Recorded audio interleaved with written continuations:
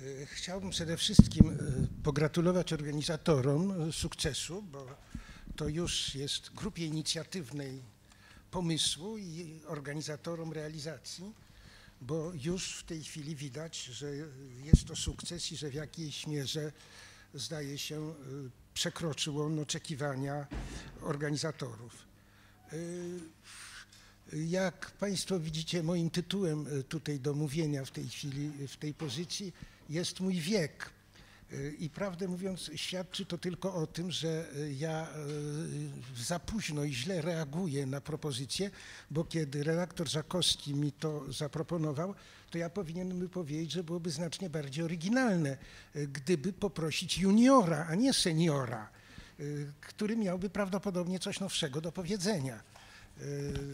Także, no ale tak się stało, więc musicie mnie Państwo teraz przez chwilę wysłuchać. Ja myślę tak, że e, tego rodzaju otwarcie e, powinno się sprowadzać w kilku punktach bardzo zwięzłych do powiedzenia tego, tym bardziej, że jest to sukces, ten sukces nas do czegoś zobowiązuje, czegoś się od nas oczekuje i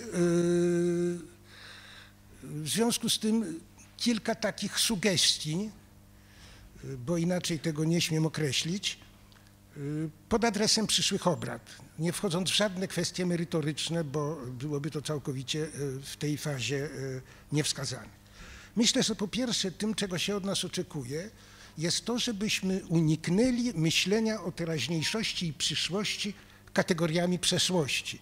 Jest taka tendencja bardzo narzucająca się, żeby porównywać sytuację dzisiejszą, no powiedzmy na przykład z latami 30 i używać analogii z tego okresu. Ja doskonale rozumiem, y, że y, używamy analogii historycznych, sam to robię, to jest mój zawód.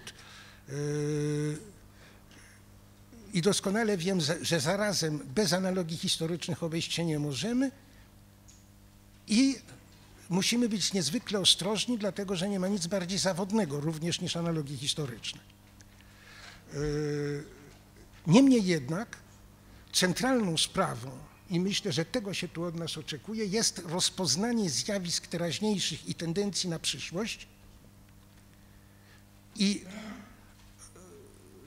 zidentyfikowanie cech swoistych, tego, co nowego się dzieje na naszych oczach, a nie próba sprowadzenia tego natychmiast do e, schematów i e, modeli, które już znamy z przeszłości. Drugi, drugą taką sugestią, e, całkowicie oczywistą i zresztą tak ta grupa, e, w której mam zaszczyt uczestniczyć, została skomponowana, jest to, że powinniśmy wpisać przypadek Polski, tego, co się tutaj dzieje, w konteksty światowe. E, oczywiście trzeba uwzględniać swoistość kraju, swoistość jego historii, jego tradycji, jego sytuacji, a nawet y, czynniki koniunkturalne i wręcz y, zdarzeniowe. Ale niezależnie od tego, i myślę, że tym, czego się od nas oczekuje, jest również to, żebyśmy umieli wpisać w różne konteksty znacznie szersze. Jest ich kilka, ja nie będę ich wszystkich wymieniał, zresztą nie wiem, czy nawet bym umiał, ale jednym kontekstem ewidentnym jest kontekst geopolityczny, a drugim kontekstem, który wydaje mi się niezwykle ważny, jest rewolucja e, informatyczna, e, którą przeżywa cały świat, która dawno już przestała być rewolucją techniczną, to jest równocześnie rewolucja myślowa, obyczajowa, Y, dotykające właściwie wszystkich dziedzin życia i której jedną z konsekwencji mającą bezpośrednie skutki polityczne i w jakiejś mierze to się powinno znaleźć gdzieś w centrum naszych rozważań, jest gwałtowny wzrost nierówności społecznych. To jest trend, z którym mamy do czynienia od lat, gdzieś od końca lat 70., od połowy lat 70., od początku lat 80., ale w tej chwili już wszystkie katastrofalne skutki tego wzrostu nierówności społecznych, które, jak mówię, mają za sobą kilka dziesięcioleci, są widoczne i yy, widać, jak bardzo to się odbija na życiu, przepraszam, że użyję tego określenia, żeby iść szybko, dołów społecznych. Yy, w związku z czym yy, tylko w tym kontekście, jak sądzę, staje się zrozumiałe zjawisko, które określaliśmy szybko i skrótowo mianem populizmu. Yy,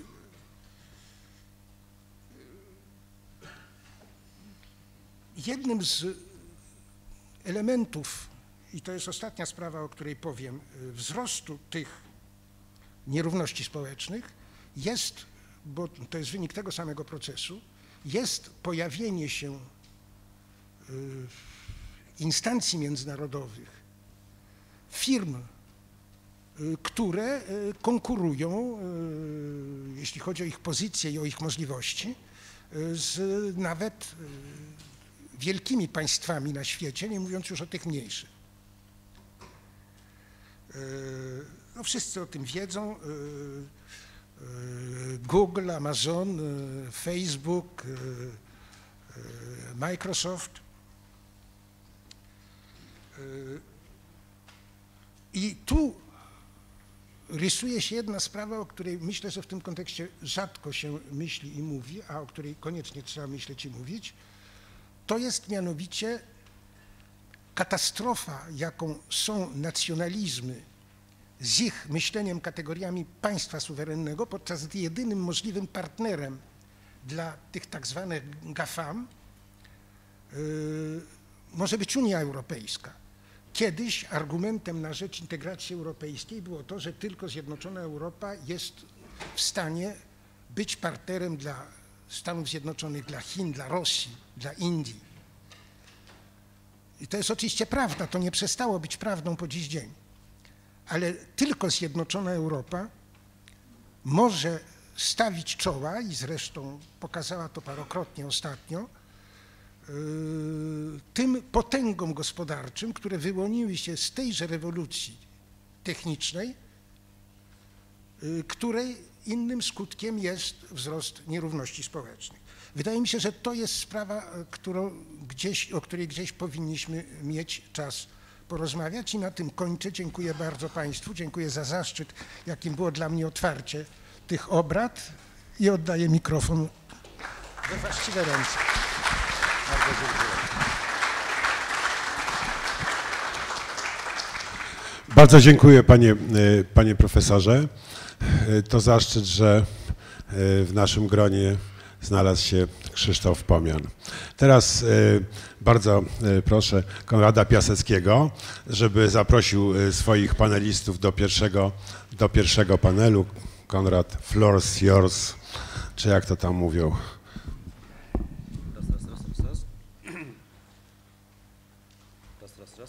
Raz, raz, raz, raz, słychać? Dzień dobry Państwu, witam bardzo serdecznie. Zapraszam od razu i w tempie szybkim na scenę moich i, i Państwa pierwszych panelistów, czyli Państwa profesorów Jana Zielonkę, Macieja Kiślowskiego, Martina Krigera, Monikę Nalepę, Jana Pakulskiego. E, macie Państwo tabliczki z nazwiskami, można je oczywiście przestawiać. Ja jestem inkognito na razie. Powiedziano mi, że osoby zbyt znane nie potrzebują. E, tak, właśnie tak. Także e, gorzej, że nie mamy żadnego, boję się krzesła już.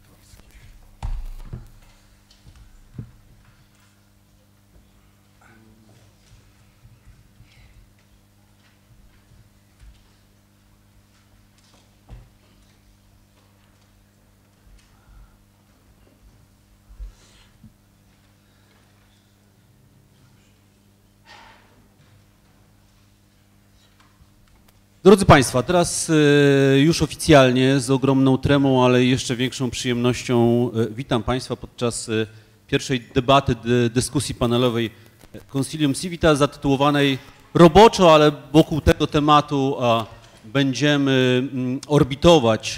Tytuł te, tego panelu to Demokracja jako wyzwanie i o przyszłości demokracji za chwilę z moimi panelistami chciałbym porozmawiać. Oficjalne przedstawienie. Profesor Jan Zielonka, politolog University of Oxford, Maciej Kicilowski, profesor prawa i zarządzania publicznego, Uniwersytet Środkowoeuropejski, jeszcze w Budapeszcie. Martin Krygier, profesor prawa i teorii socjologicznych społecznych University of New South Wales, Sydney. Profesor Monika Nalepa, nauki polityczne, Uniwersytet w Chicago i profesor Jan Pakulski, Uniwersytet Tasmański w Hobart. Dzień dobry, witam Państwa wszystkich bardzo serdecznie.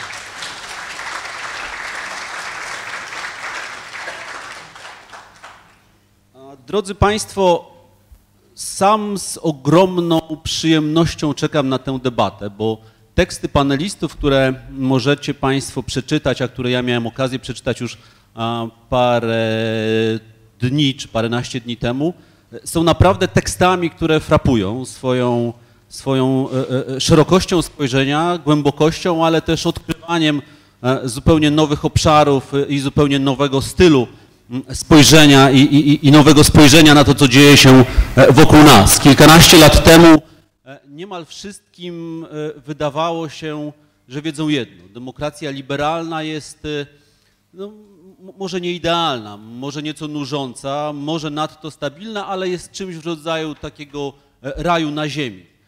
Że jest takim sposobem organizowania się społeczeństw, które dają tym społeczeństwom najwięcej dobrobytu, stabilizacji, bezpieczeństwa i wolności w jednym. Co ważne, bo oczywiście różne inne ustroje, różne inne systemy polityczne mają ambicje dawania tych poszczególnych, poszczególnych składników, natomiast to demokracja liberalna wydawało się będzie już po wsze czasy potrafiła dać najbardziej wartościową odpowiedź i najbardziej w najbardziej wartościowy sposób odpowiedzieć na wszystkie potrzeby społeczne.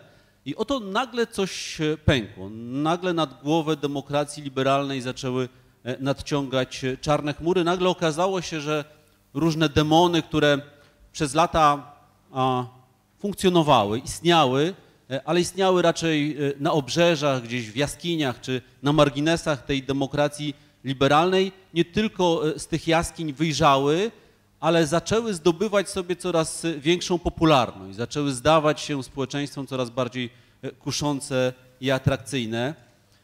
Kryzysy ekonomiczne, kryzysy migracyjne, różne społeczne lęki, ale też braki sprawczości demokracji liberalnych sprawiły, że nad głowę tejże demokracji nadciągnęły i nadciągają coraz bardziej czarne chmury. O jej końcu mówią już nie tylko politycy no właściwie ja, tak jawnie autorytarnie jak Władimir Putin, ale e, nawet Viktor Orban, polityk, który e, jest w końcu politykiem unijnym, e, otwarcie mówi, że demokracja liberalna, era liberalnej demokracji dobiegła końca, a demokracja liberalna, jak mówi Viktor Orban, jest wrakiem.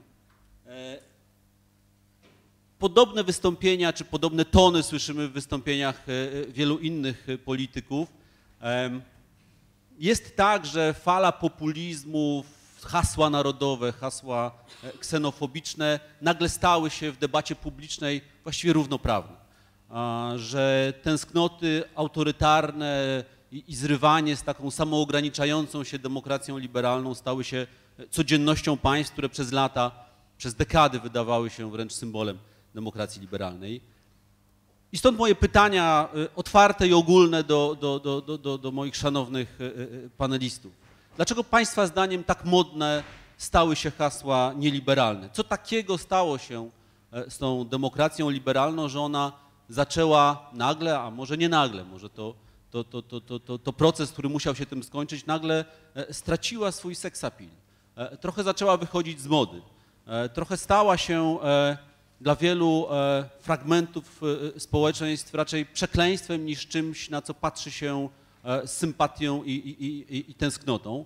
Czy to jest tak, że to jest wszystko procesem odwracalnym, czy też raczej już musimy mierzyć się z pytaniem, co po demokracji liberalnej? Jaki ustrój stanie się dzisiaj tym rajem na ziemi, choć może niekoniecznie on będzie bardzo rajski dla społeczeństw XXI i następnych wieków. zapraszam Państwa do, do dyskusji. Ja tylko powiem porządkowo. Wyobrażamy sobie spotka, to spotkanie i wszystkie kolejne tak, że, e, że oddam Państwu głos kolejno na kilka minut, chociaż e, z dopytywaniem do wystąpienia każdego z Państwa. Później e, będę chciał oddawać głos sali i prosić naszych szanownych gości o, o, o pytania i, i, i, i uwagi dotyczące tego wszystkiego, co na tej sali e, padło, padnie i będzie padać za chwilę. Pani profesor, może Pani jako pierwsza. Zapraszam bliskie mówię, mówienie do mikrofonu w miarę bliskiego. Jeśli nie, nie, Ten- działa? Ten działa na pewno. ja tu będę też Dobrze, pełnił funkcje bardzo. porządkowe. Przepraszam bardzo. Dziękuję bardzo organizatorom, ogromnie się cieszę, że tutaj jestem. E, Ja będę mówiła na temat e, artykułu, który się zamieścił, który umieściłam, teraz znowu nie działa. Bliżej mikrofonu, bliżej Bliżej? mikrofonu bardzo proszę. E, Będę mówić na temat artykułu, który zamieściłam w, w tegorocznym almanaku, ale który akurat zbliża się, jest, jest na temat zbliżony bardzo do, do, tego, do tego tematu, który, który Pan nam zadał. Jeszcze bliżej? Jako wieloletni radiowiec powiem Państwu, że mikrofony mają to do siebie, że najlepiej działają z odległości mniej więcej 5 centymetrów. 5 centymetrów, dobrze, świetnie. E, więc będę mówić o erozji rządów prawa, e, głównie w Polsce, ale również na Węgrzech i, e, i, i, i, przyczynach z mojego punktu widzenia tej, tej erozji. Więc zarówno Polska, jak i Węgry po transformacji ustrojowej stanęły przed takim zadaniem rozliczania się z przeszłością komunistyczną. I generalnie e, rozliczanie się z, z, z przeszłością autorytarną dokonuje się, czy też ujawnianie trupów w szafie, że tak zacytuję swoją pierwszą książkę, ujawnia się, e, e, dokonuje się albo za sprawą tworzenia Komisji Prawd i Pojednania, takich jak w, Euro, e, w, w Afryce Południowej, albo za pomocą lustracji. E, I tak jak pokazuje w, w Almanaku, Europa Środkowa-Wschodnia zdecydowała się bardziej e, e, e, na przeprowadzanie tego rozliczenia za pomocą lustracji. E, e, Pierwszy punkt tego mojego artykułu jest taki, że lustracji nie da się pogodzić z niezależnością sędziowską e, czy też z niezawisłością sądów. E, I wobec tego, w imię tej niezawisłości sądos- sędziowskiej, e, zarówno w Polsce, jak i na Węgrzech, e, lustracja pominęła częściowo bądź też całkowicie środowisko sędziowskie. E, Co, e, co było, nie, oceniam, czy to było, czy, było, czy było dobre, czy niedobre, po prostu stwierdzam taki fakt, że w zna, w znakomitej większości pominięto sędziów. E, I wszystko się wydawało, e, co, nie oznacza, że nie została przeprowadzona w innych sferach życia. Natomiast w 2015 roku, kiedy e, Prawo i Sprawiedliwość doszło do władzy i mogło właściwie rządzić w sposób niekontrolowany, e, dało to e, pretekst tej partii, no właśnie do czego. Em, Premier Morawiecki w, 2000, w marcu tego roku przyleciał do Nowego Jorku i w czasie wykładu na New York University porównał e, reformy sądownictwa, czyli zwalnianie e, sędziów Sądu Najwyższego, odmowę e, mianowania już wybranych sędziów do Trybunału Konstytucyjnego, jak również upolitycznienie KRS-u i e, do, do rozprawiania się z kolaborantami Vichy po II wojnie we Francji. E, Nie, nie, był, nie był to odizolowany przypadek właśnie porównywania e, reform sędziowskich do przeprowadzania na serio e, e, sprawiedliwości czasów przemiany, dlatego że podobne wypowiedzi z jego ust padały też na przykład w Gdyni e, e, w ubiegłym roku, kiedy, e, kiedy skomentował e, reformę Sądu Najwyższego e, w następujący sposób, że przecież w tym sądzie zasiadają ludzie, którzy w czasie, w czasie stanu wojennego skazywali więźniów politycznych. Wspominam o tym dlatego, że dla przeciętnego e, wyborcy istnieją dwie konkurencyjne interpretacje e, e, reform sądownictwa, które zostały przeprowadzone w przeciągu ostatnich trzech lat przez PiS i, na, obszarze e, dłuższego czasu na Węgrzech poprzez, poprzez Fidesz. E, Pierwsza interpretacja jest taka, że PiS doprowadza do końca lustrację, rzetelnie e, przeprowadza dekomunizację w taki sposób, aby objęła ona również środowisko sędziowskie, które wcześniej było z, tego, z tej lustracji wyłączone. I no cóż, o- odbywa się to na zasadzie odpowiedzialności zbiorowej, ale to dlatego, że już minęło tyle czasu, inaczej po prostu nie można. Więc to jest pierwsza interpretacja. Druga interpretacja jest taka, że PiS obsadza sądy swoimi sprzymierzeńcami, aby nikt nie stanął na przeszkodzie, im na przeszkodzie, kiedy, kiedy PiS będzie chciał wprowadzać zmiany tak autorytarne i tak w otwarty sposób autorytarne, jak, e, jak widzimy to na przykład e, przeprowadzają dyktatorzy w innych krajach e, na świecie, Wenezuela, Turcja i tak dalej. E, I takie dwie interpretacje właśnie tych, e, tych, tych działań obecnej partii są możliwe i, są, i, i nie są one ze sobą do, pocho- do pogodzenia, ale dają się one, wydaje mi się, że, że, że, że wciąż jest- jesteśmy w takim momencie, że, że, że, że, że, na takie, że, że, że niektórzy wyborcy w taki sposób właśnie rozumieją te reformy. W artykule Armanaku Przedstawiam model teoriogrowy, którym, e, na którym pracowałam z dwoma współpracownikami, e, George'em Van Bergiem i Katariną Chopris. I model ten wyjaśnia stopniową degradację rządów prawa, która się odbywa w systemie demokratycznym z udziałem wyborów, którzy charakteryzują się bardzo szerokim poparciem dla wartości demokratycznych i dla rządów prawa. W tym modelu w pierwszym okresie wyborcy obserwują dokonania rządu, które polegają na przeprowadzeniu pewnych reform ins- instytucjonalnych. I reformy te mają zarówno wymiar ideologiczny, czyli patrz pierwsza interpretacja, e, jak również potencjalny wymiar autorytarny, patrz druga interpretacja. I w tym modelu pokazujemy, że jeśli wyborcy są wystarczająco spolaryzowani, jeśli wystarczająco spolary, spolaryzowane są elity jeśli ci wyborcy mają prawo przypuszczać, że jest bardzo małe prawdopodobieństwo, że, że, że rządzący rzeczywiście są ukrytymi e, autokratami, to ci wyborcy będą głosować ponownie na, e, na, na, na, rządzących i wprowadzających właśnie te, te kontrowersyjne reformy, nawet jeśli są bardzo przywiązani do wartości demokratycznych. E, Natomiast e, ukryci autokraci z kolei w pierwszym okresie, czyli w tym okresie, który tej chwili obserwujemy w Polsce, e, ukryty autokrata będzie się zachowywał w sposób, który jest do złudzenia podobny do e, rządzącego konserwatywnego ideologa po to, aby zmylić e, wyborców i ponownie zostać wybranym. Czyli ten ponowny wybór argumentuje, że w Polsce ten ponowny wybór, szansa na ten ponowny wybór odbędzie się jesienią 2019 roku. Na Węgrzech argumentujemy, że to się wydarzyło już w 2014 roku. I tak na zakończenie, to czego w tym w- artykule Almanaku nie ma, a na czym e, zastanawiałam się i pragnę dalej się zastanawiać, to dlaczego ta ero- erozja rządów prawa nastąpiła akurat w Polsce i na Węgrzech, czyli w dwóch krajach, które przecież e, w latach 90. właściwie wiodły ten e, pociąg do Europy i do demokracji i do wartości liberalnych. I wydaje mi się, że e, nawiązując tutaj do, do tego, od czego rozpoczęłam, e, to są kraje, które się charakteryzują e, bardzo dużym stopniem niezależności sędziowskiej, która poprzedzała niemalże transformację do, do, do demokracji.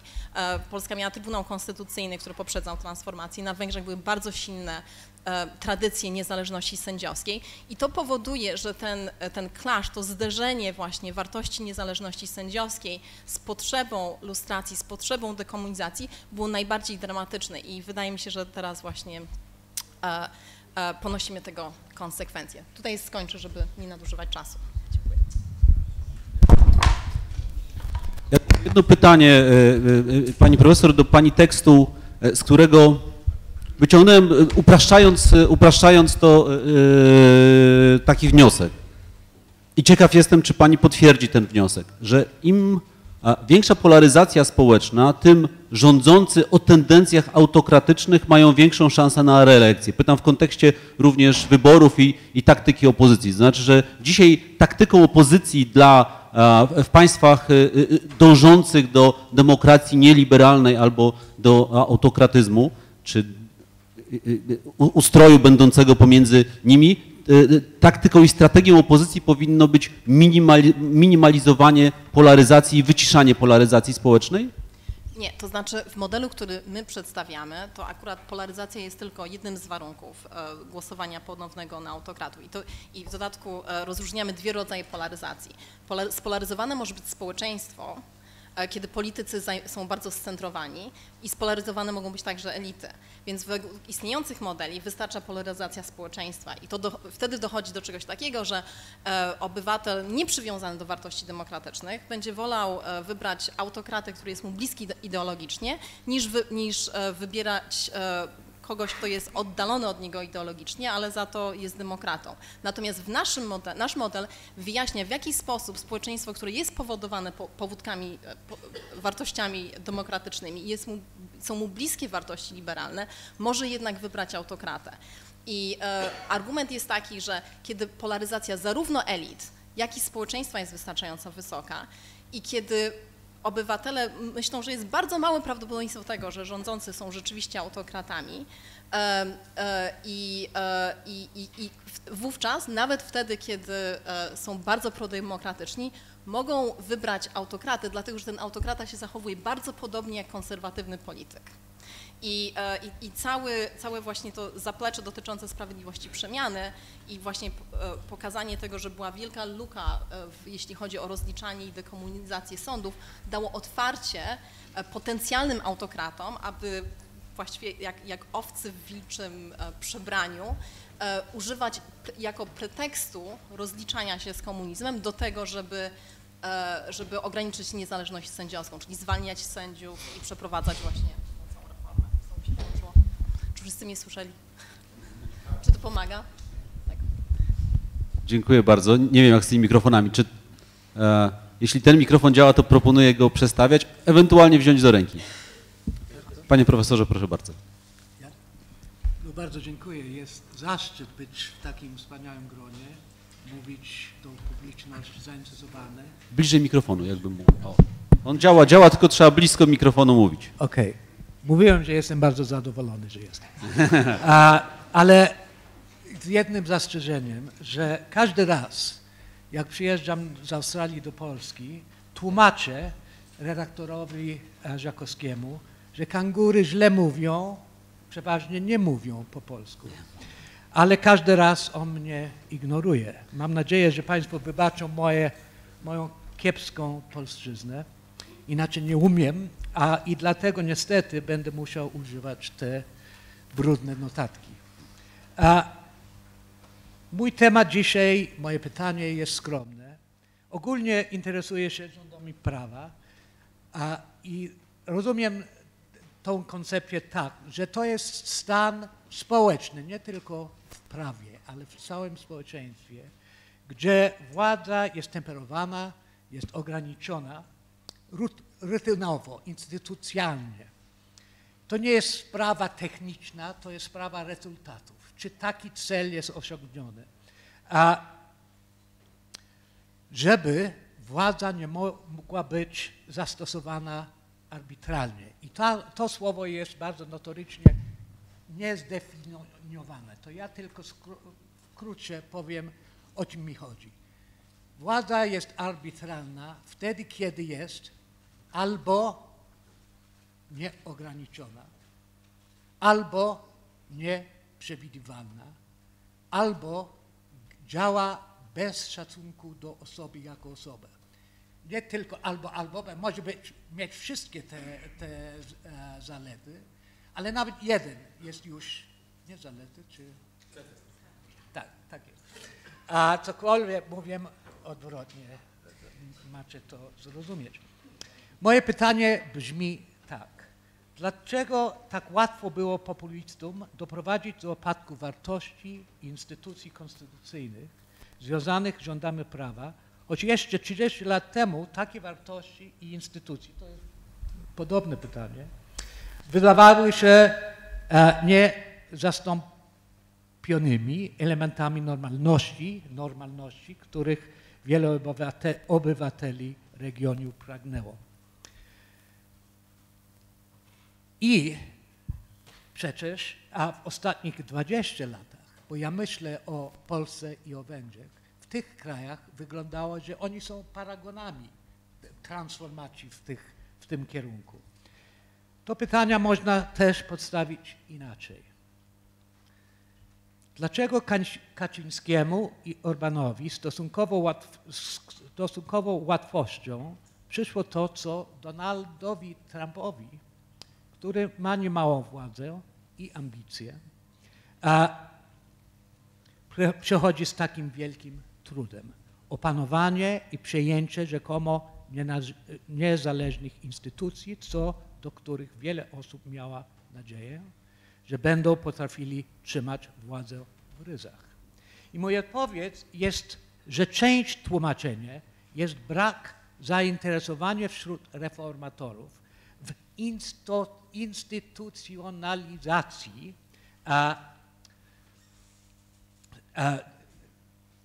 te nowe reformy w sensie specyficznym opisanego przez mojego mistrza i wielki, wielkiego amerykańskiego socjologa Filipa Selznika. Dla Selznika instytucjonalizacja znaczy, że organizacja jest nasycon, nasycony a wartością ponad techniczne wymagania zadania, któremu trzeba sprostać. I są dwie rodzaje instytucjonalizacji. Jedna jest proces społeczny. Najczęściej instytucjonalizacja zachodzi jako spontaniczny proces społeczny w pewnym czasie, kiedy ludzie nabierają konkretnych zwyczajów, nawiązają związki, pojawia, pojawia się lojalność, przywiązanie podczas wspólnego życia i pracy, uczestniczenia w działaniach, uczenia się wspólnych wartościach, symboli, mity, doświadczenia itd. Tak I oni są związani z organizacją, z instytucją, z, z, z kościołem, z państwem, ale w różnych organizacji. Oni są po czasie instytucjonalizowani. Ale jest rzadziej, ale ważne, że jest też, może być projekt instytucjonalizacji, żeby ładować nowe wartości w organizacji, w nowych reformach i tak dalej. Ale to nigdy nie jest łatwo i to nigdy, nigdy nie masz białą kartę. Nigdy nie zaczynasz od niczego. Społeczeństwo nigdy nie jest i nie może być białą kartą. I w Polsce i w większości innych krajów Europy Wschodniej większość wartości i instytucji przyjętych tak ciepło na początku lat 90., liberalnych, indywidualistycznych, prawnych, a tak dalej, nie miało zbyt mocnego zaczepienia. Było słabo instytucjonalizowane. A inne wartości, na przykład, na przykład religijne, patriotyczne i inne często sprzeczne byli, albo mog, mogli być zinterpretowani jako sprzeczne z nowymi wartościami. I oni byli głębiej zakorzenione. I też antywartości do państwa, do prawa i inne rzeczy też mieli ich tradycje głębokie. Późniejsze doświadczenie e, rządów nazistowskich i komunistycznych uczyniło niewiele, oczywiście, dla propagowania liberalnych wartości, chyba że tylko, tylko jako źródła natchnienia dla opozycji. Teraz mój pierwszy punkt jest, że reformatorzy często ignorowali ten fakt jako palący problem do rozwiązania. Nie dbali o to, by wartości leżące u podstaw ich reformy zostały zinstytucjonalizowane.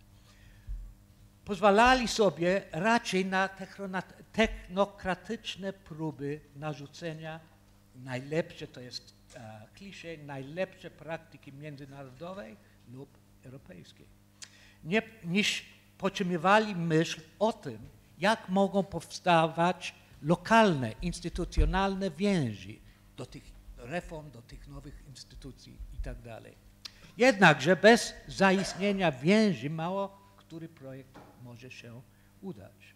Demokratyczne, prawne i konstytucyjne transformacje w krajach postkomunistycznych były o wiele bardziej podatne na naśladownictwo, przyjmowanie i wprowadzenie rzekomych środków, środków niż na instytucjonalizację ich w związku z wartościami, z, wartości, z wartościowymi celami. Były o wiele bardziej instrumentalne niż adapcyjne wrażliwości i podejściu. To samo jest prawdą w odniesieniu do polityki gospodarczej, zmian konstytucyjnych, reform demokratycznych i wielu innych nowości prowadzonych w regionie. To to mówię o nas, o ludzi, którzy popierali reformy. ale to o nich. Wtedy zaczęli nadchodzić wrogowie populistyczni. Czasami rozumieli dużo lepiej niż reformatorzy, czego wymaga instytucjonalna transformacja. A my nie zawsze rozumiemy, co ci wrogowie, a oni naprawdę są wrogi, nie tylko przeciwnikami, co oni rozumieją i co sobą reprezentują. Bardzo jasno pojęli, że biorą udział w bitwie o instytucjonalizację. Znowu w rozumieniu Selznika.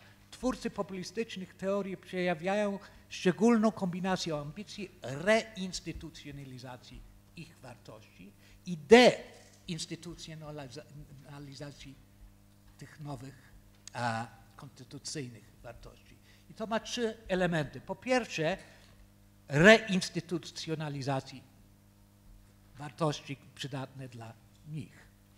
Czerpią i fabrykują lokalnie uświęconą przeszłość, a mieszając rzeczywistość, mity, fikcję i fantazję, by ożywić i cementować lojalność oraz przywiązanie do narodu, wiary i prawdziwych ludzi przeciwko cudzoziemcom, kosmopolitom, niewiernych lub innowiercom, elitom, gorsze i inne sorty i od czasu do czasu oczywiście Żydów. W kategoriach Selznika i to jak wydaje się raczej samoświadomie, wartości, lojalność, przywiązanie ich równolegle antywartości i wrogowie namnażają się, by wzmocnić instytucjonalną nowych ruchów, łącząc je ze starymi wartościami lub tym, co się jako wartości przedstawia. Po drugie jest deinstytucjonalizacji tych reform. I tu mam na myśli coś e, zaskakujące, jak mało mówi się o instytucjach, jak dużo o ludziach. To pierw i o przyjaciół, i o wrogów. To Kaczyński nie istnieje formalnie, ale panuje wszędzie i na wszystkim. Jak to może być? Nie jest prezesem, nie jest, jest prezesem. Nie jest premierem, nie jest a, a, prezydentem, a wszystko ma całą, a, całą władzę w rękach. To jest dziwne. Może nie w Polsce, ale dziwne. A po drugie, pierwotne ataki na wyroków i na instytucje Trybunału Konstytucyjnego. A oni, jak mówią PiS, nie podejmują prawnie obowiązujących decyzji, ale prowadzą między sobą pogawędki, których nie ma potrzeby zgodnie z prawem upubliczniać. Dla Osyliczyka to jest... Okay. Więcej o tym. Nawet atak na e, e, Centroeuropejski Uniwersytet. My to znamy jako Centroeuropejski Uniwersytet, a oni tylko znają Uniwersytet Sorosza. Po trzecie element, i prawie kończę, ale dużo więcej i dużo lepiej jest oczywiście tutaj. A to jest oryginal, oryginalne w nim jest, że oni chcą wydrążać, ale nie likwidować tej instytucji. Kompletnie wydrążać to, co mieli mieć, jak, a, a, związek z celem liberalnym, konstytucyjnym, ale potem, tak jak z Trybunałem, używać te instytucje do ich celów. I to miałem powiedzieć a, dużo więcej, ale mówię jak kaleka, jak a, a, słyszycie, tylko skończę tak.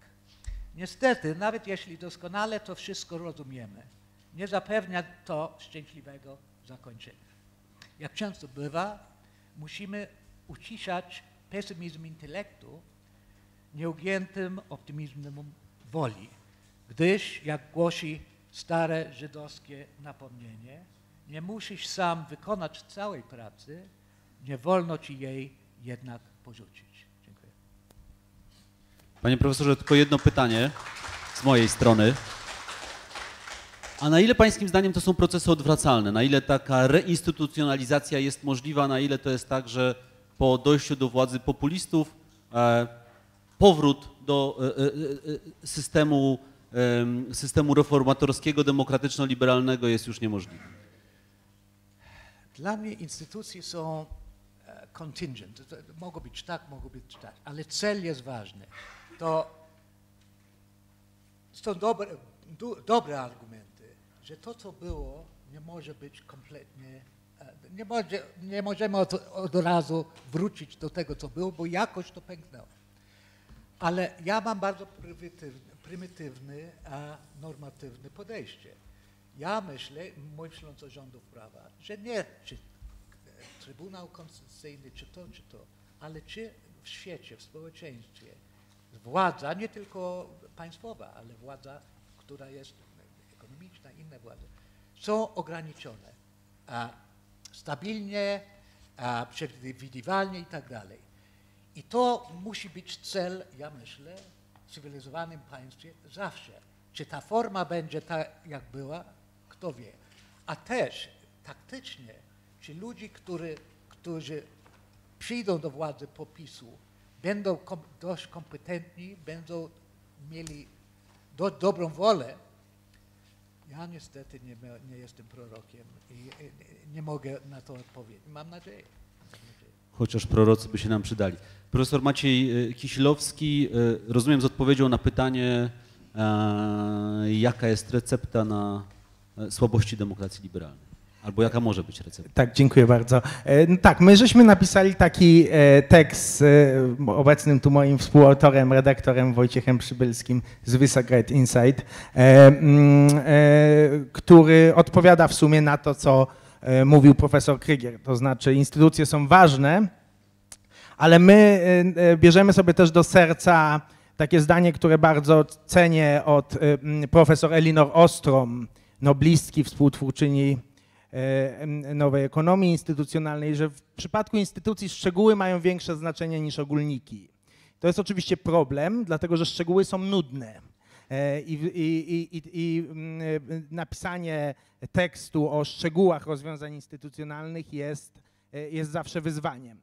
To, co my proponujemy, e, wynika z e, mm, takiej diagnozy tego e, mm, e, e, odpowiedzi na to pytanie, które Pan zadał na początku.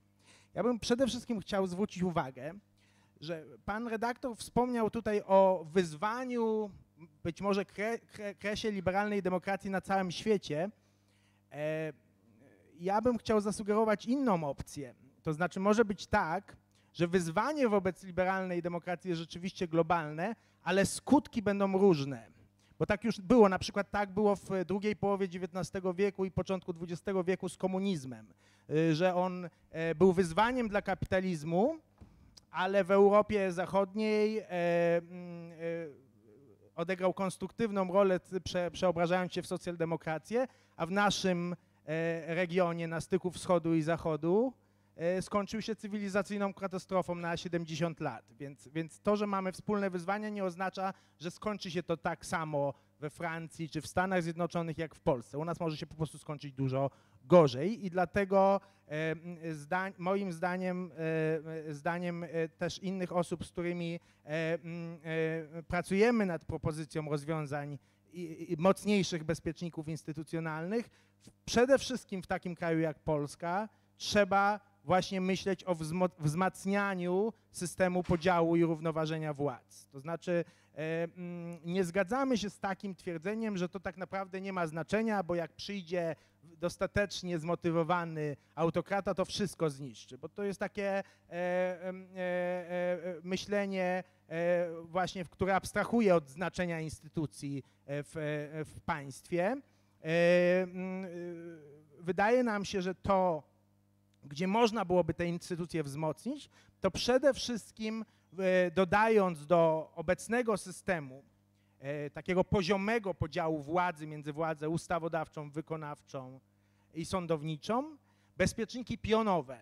E, Bezpieczniki pionowe, które są stosowane w wielu państwach, zazwyczaj federalnych, ale nie tylko, bo na przykład Szwecja nie jest państwem federalnym, i które e, generalnie idea jest taka, że jeżeli podzielimy władzę między różne poziomy e, zarządzania, e, czyli władzę centralną, władzę w polskich warunkach wojewódzką, władzę gminną, to każdy z tych poziomów władzy będzie działał lepiej z prostej przyczyny, że możemy stworzyć mechanizmy wzajemnej kontroli między tymi poziomami.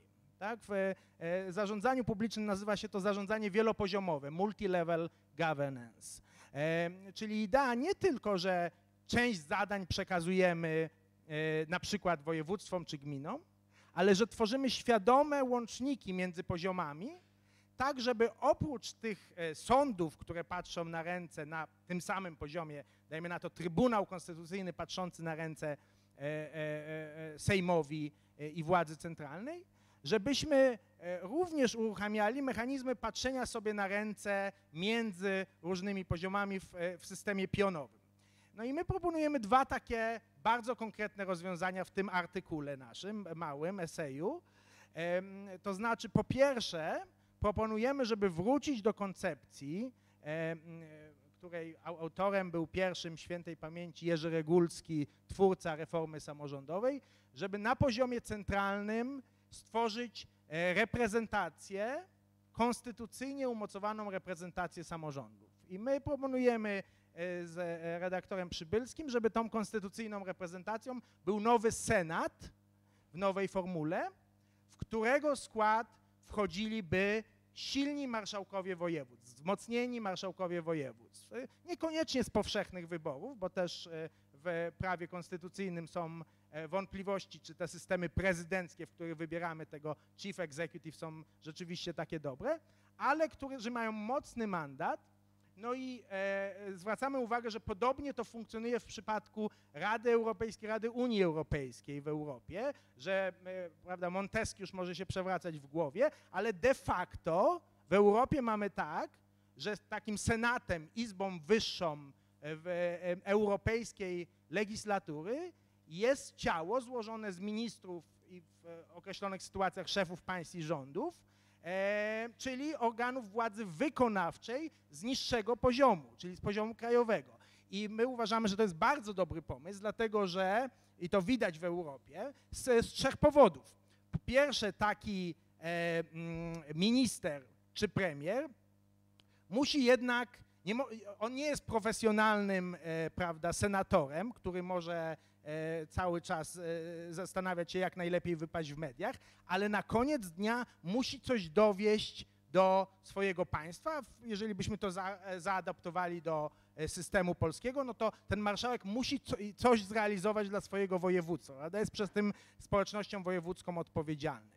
Po drugie, E, jednak mówimy o ciele, którego skład zmienia się stopniowo. E, e, w, w Unii Europejskiej to, to prawda jest oczywiste, ale podobne rozwiązanie można zastosować i nie tylko my to proponujemy, mm, również na przykład środowiska konserwatywne, Klub Jagielloński proponuje, żeby na przykład nie było w jednym terminie wszystkich wyborów we wszystkich województwach, bo wtedy jest to podatne na różne fale wyborcze, emocjonalne argumenty.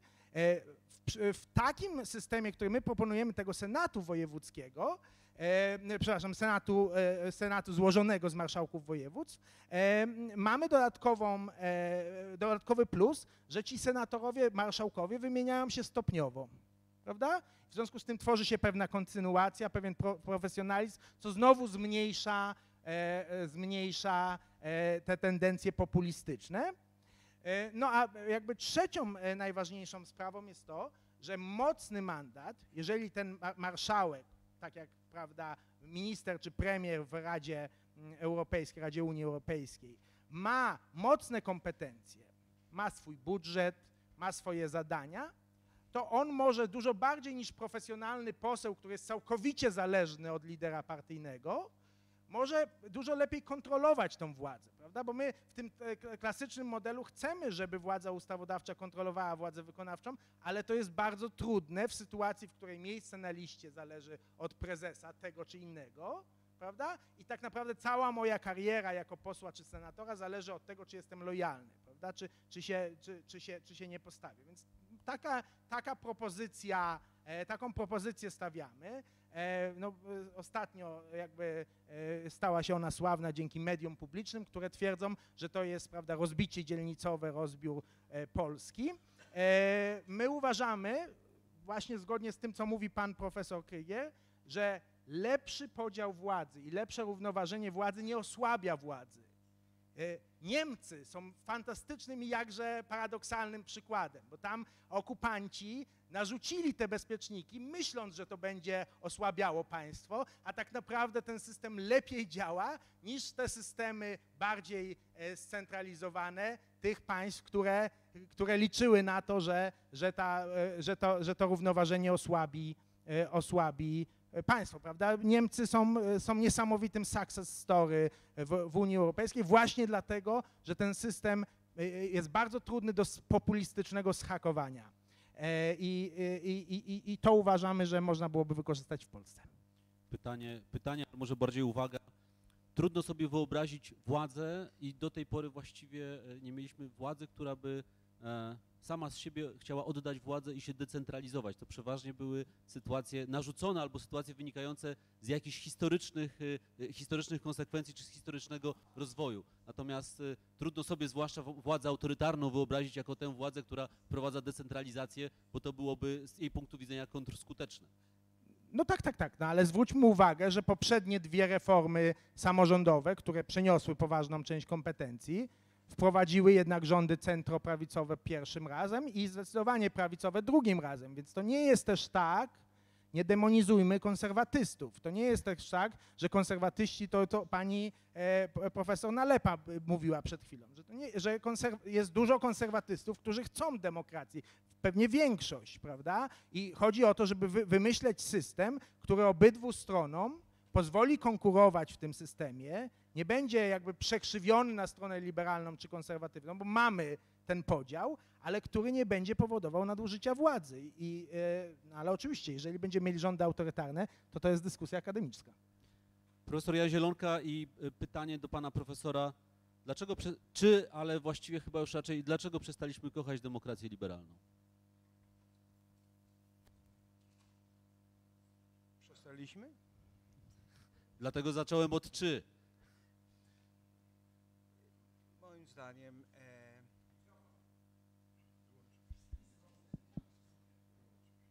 Nie, działa, działa, działa, działa. czy przestaliśmy, to się dopiero okaże. A, nie, a przestajemy? Widzi pan, e... ja myślę, że to, e... że antyliberalni no, powiedział pięć, powiedział smacznego. E, ja uważam, że to za wcześnie, żeby powiedzieć, że, że demokracja liberalna e, e, przegrała. Co jest oczywiste, to jest to, że wyborcy, którzy przez 30-40 lat lojalnie, bez względu na wszystkie problemy, głosowali na partie liberalne, czy centroprawicowe, czy, czy centrolewicowe, powiedzieli y, dosyć, poszukajmy alternatyw. Te alternatywy to nie są zawsze populiści. To są e, e, partie zielonych na przykład, albo zupełnie nowe twory. My to znamy z Polski. Ostatnie wybory nowoczesna, cookies, prawda, spadły praktycznie z nieba i dzisiaj wiemy, że to są twory sztuczne a jednak dostały y, y, wystarczająco dużo głosów, żeby wejść do parlamentu przy, przy ordynacji wyborczej, która specjalnie małym partiom nie pomaga. To jest podstawowy szok, prawda, dla, e, e, dla tych, którzy zajmują się polityką, że, że ludzie, e, którzy lojalnie głosowali, nie wiem, czy mogę powiedzieć w tym gronie, na nas, powiedzieli dziękujemy. No i teraz Powodów do tego jest wiele, prawda? To dużo zależy od, od, od, od, od miejsca, gdzie jesteśmy, bo przecież e, e, inną wersję tak, tego, tego buntu należy oczekiwać i tak było w Grecji, gdzie gospodarka skurczyła się mniej więcej o 20-25%, a inny w Polsce, gdzie ta gospodarka rosła 20-25% ale nawet w Polsce, e, gdzie ta gospodarka rosła, dzisiaj wiemy, co specjalnie nasi koledzy z mediów nie nagłaśniali, a, a nasi politycy czy eksperci troszkę e, e, statystyki manipulowali, okazuje się, że jesteśmy jednym z najbardziej nierównych krajów w Europie,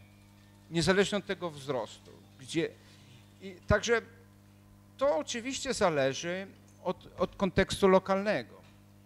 I, i, I to jest szok też dlatego, że populizm jest tak zna, stary jak demokracja. Tylko, że jakoś ludzie tego nie kupowali. Jean-Marie Le Pen, ja patrzę tutaj na Krzysztofa e, e, Pomiana czy na, czy na Piotra Moszyńskiego, ale Jean-Marie Le Pen dostał mandat we Francji do parlamentu w 50 latach. I ludzie, e, którzy się znają na polityce francuskiej, mi mówili, że on jest dużo zdolniejszym i charyzmatycznym politykiem niż jego córka. A jednak nigdy go nie udało mu się specjalnie e, e, e, e, e, zajść tak daleko jak jego córka. Ja pamiętam, jak ja mieszkałem w Holandii, Pim Fortuyn był moim kolegą z Uniwersytetu w Rotterdamie. Prawda? I przed jego zamordowaniem był prototyp takiego polityka prawda? E- antyelitarnego, chociaż w wielu kwestiach był bardzo liberalny, czyli to są różne też modele antyliberalizmu. I, ale dzisiaj jest tak, że praktycznie wszędzie te partie, nawet w, w krajach tak zinstytucjonalizowanych, gdzie rządy prawa istnieją, jak Niemcy, już nie mówię o Austrii, to Szwajcaria, to jednak ci politycy sobie radzą w sposób niesamowity. I to jest e, e, coś, z czym musimy sobie poradzić. I oczywiście powodów tego jest, jest wiele. Ja, ja tu często na ten temat mówię. Czy, czy nasza polityka, wie, wiecie, to, to nie było tak, że populiści byli u władzy, jak te nierówności narastały, prawda? To nie, to, to nie populiści e, e, e, prowadzili wojny na Bliskim Wschodzie, bombardując bez, bez, zupełnie bez dyskryminacji całe miasta i później zostawiali te kraje na, na, na, na łasce wataszki i byli zaskoczeni, że tutaj migranci do nas przyjeżdżają, zdesperowani, prawda? To, to, to, to, e, e, to nie populiści e, byli e, przy władzy, kiedy e, jeden czy drugi skandal na przykład e, e, e, z politykami wychodził na wierzch. Czy w parlamentach e, takich jak matka parlamentu Westminster, czy, czy, e, e, czy w instytucjach europejskich. Także, żebyśmy się dobrze zrozumieli.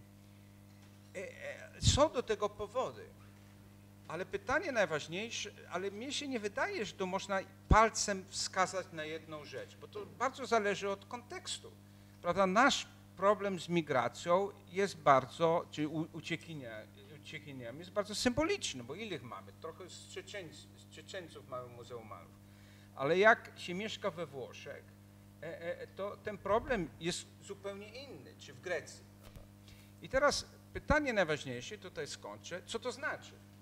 Co to znaczy? O co tu chodzi? Co, jaka jest tego stawka? My na co dzień dyskutujemy w kategoriach takich, kto wygra następne wybory, prawda? Y, Czy sądowi temu czy tamtemu uda się utrzymać niezależność? E, Czy prawa tej czy tamtej mniejszości zostaną z- y, zabrane? A ja myślę, że to jest problem szerszy że to jest problem ideologiczny. Co to znaczy ideologiczny? Że to jest walka o pojęcie dobra i zła. Że to jest walka o to, co my uważamy za racjonalne i co uważamy za głupie. To jest walka o definicję normalności. I my żeśmy przez ileś tam dekad, jako liberałowie, byli w stanie zdefiniować pojęcie normalności. Bo wszyscy uważali, że jest taki, a nie inny sposób prowadzenia gospodarki, społeczeństwa, rządzenia państwem, y, y, y, stosunkami międzynarodowymi i tylko na marginesie ludzie temu się przeciwstawiali, ale nigdy nie byli w stanie y, przełożyć to na mandat wyborczy. A dzisiaj jest to inaczej. I, i- i nie wiemy, czy wygra e, e, e, pomysł na integrację europejską, czy na odrodzenie państwa narodowego w jakiejkolwiek formie. Nie wiemy, czy, czy zwycięży e, e, idea podziału ko- od kościoła od państwa, czy zostanie wprowadzone jakieś takie różne formy państwa teokratycznego. Nie wiemy, czy mniejszości e, zachowają swoje prawa i, i, i, i czy im się te prawa odbierze w jakiejkolwiek formie, jak w ogóle rodzinny model powstanie. I, i, I, to są ogromne dylematy. To jest e, e, coś, czego raz nie da się załatwić zwycięstwem wyborczym jednym czy drugim, a już na pewno tego się nie da załatwić jakimkolwiek dekretem. Bo to jest, e, jest nasz sposób patrzenia na świat. I ten, i, i, i, ten sposób, który był dla nas oczywisty, bo my tu w tym regionie Europy żeśmy praktycznie przejęli to myślenie liberalne bez jakiejkolwiek refleksji. To zostało dzisiaj zakwestionowane, nie tylko u nas, ale praktycznie wszędzie. I jak ja zawsze mówię, trzeba za, zapiąć pasy bezpieczeństwa, bo ta droga e, e, będzie e, pełna przeszkód jest długa I, i nie wiemy jak długa i co będzie w międzyczasie. A wypisałby pan jakąś receptę liberalizmowi, albo gdyby pan ją wypisywał, to co by się w tej recepcie znalazło? Wie pan, ja mam receptę na to, wie pan, a, i to tym, w, tym, w tym tomie staram się powiedzieć. Tylko dla mnie recepta to jest inna recepta niż pana. Bo pan by chciał jako dziennikarz, bo ja mówię nie osobiście, tylko ja z wieloma e, e, e, dziennikarzami rozmawiam na co dzień, żebyście chcieli, niech mi pan powie, taka reforma, to zrobić, to zrobić. Ale to nie wygląda w ten sposób, bo, bo, bo jeśli zdefiniować pojęcie dobra i zła, to nie da się zdefiniować tego e, e, taką czy, czy, czy reformą mediów społecznych, czy sądownictwa, prawda? To jest dużo, to jest, to jest sposób naszego myślenia na temat rzeczywistości. Ale moim zdaniem w kategoriach politycznych są trzy rzeczy. Jedno, że trzeba od, odbudować, jakoś utraconą wiarygodność odzyskać.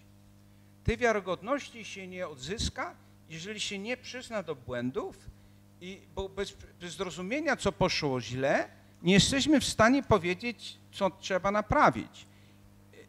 A my cały czas mówimy o nich, a nigdy nie mówimy o nas.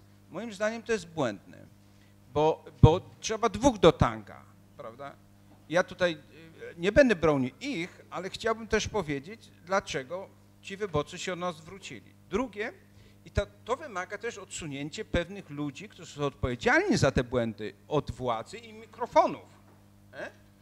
Bo, e, bo jak, jak, się zawsze mówiło, że rozdawnictwo, rozdawnictwo, a dzisiaj mówimy, o to 500 plus, to my też e, weźmiemy, to się nie ma tej wiarygodności, prawda? I, i, i to też chodzi o zmiany pokoleniowe prawda? Bo, bo tych twarzy nowych w polityce ja specjalnie nie widzę. Drugą, trudniejszą rzeczą, to, trzeba mieć odwagę na eksperymenty, bo my nie wiemy, jak rozwiązać problemy y, y, nierówności, czy jak lepiej zintegrować Unię Europejską. Musimy próbować, ale trzeba próbować, bo tych prób ja specjalnie nie widzę. Ile my dyskutujemy, żeby opodatkować sektor finansowy i co? Ile my dyskutujemy, że trzeba więcej demokracji w Unii Europejskiej i co? Prawda? Trzeba zacząć wreszcie eksperymentować i nie i pozwalać ludziom. Trzeba stworzyć sytuację, w której ludzie nie są karani za to, że wychodzą z jakimś pomysłem. A już najtrudniejszą rzeczą, ale to w naszym środowisku, przynajmniej naukowym, najważniejszą, to trzeba wymyślić demokrację i kapitalizm na nowo. I tego się nie, wy, nie wymyśli e, w ciągu jednej konferencji. Na to trzeba prawdopodobnie pokolenia albo dwóch. Ale jest oczywiste, że jeżeli ktoś myśli, że to nie tylko chodzi o to, kto ma władzę nad sądem czy, czy, czy parlamentem, tylko jeśli chodzi o sposób prowadzenia naszego życia gospodarczego czy politycznego, to musimy te rzeczy na nowo przemyśleć. I ja tego nie widzę po prostu nie widzę w żadnej dziedzinie, czyli uważam, że to nie jest błąd, błąd polityków, to jest błąd naszych intelektualistów. Dlaczego ja czytam najwybitniejszych ekonomistów i, i, oni mi mówią, że, że, że pomysły Keynesa 100 e, e, lat stare, na, stworzone na gospodarkę prawda, e, industrialną, przemysłową, mają pomóc w gospodarce wirtualnej. Ja nie rozumiem tego. I, i, ja mam całą sympatię dla Keynesa i ludzi, którzy są jego uczniami, ale ja bym chciał, jako człowiek, który się nie zna na ekonomii, żeby oni mi coś powiedzieli, e, co, co do mnie przemawia. I to jest problem intelektualny, a nie problem polityczny. I tutaj jest nasza rola.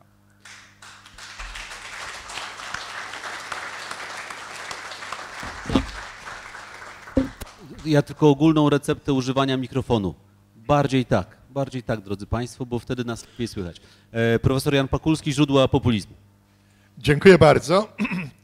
Z antypod to wygląda nieco może inaczej niż e, z wewnątrz wieloryba.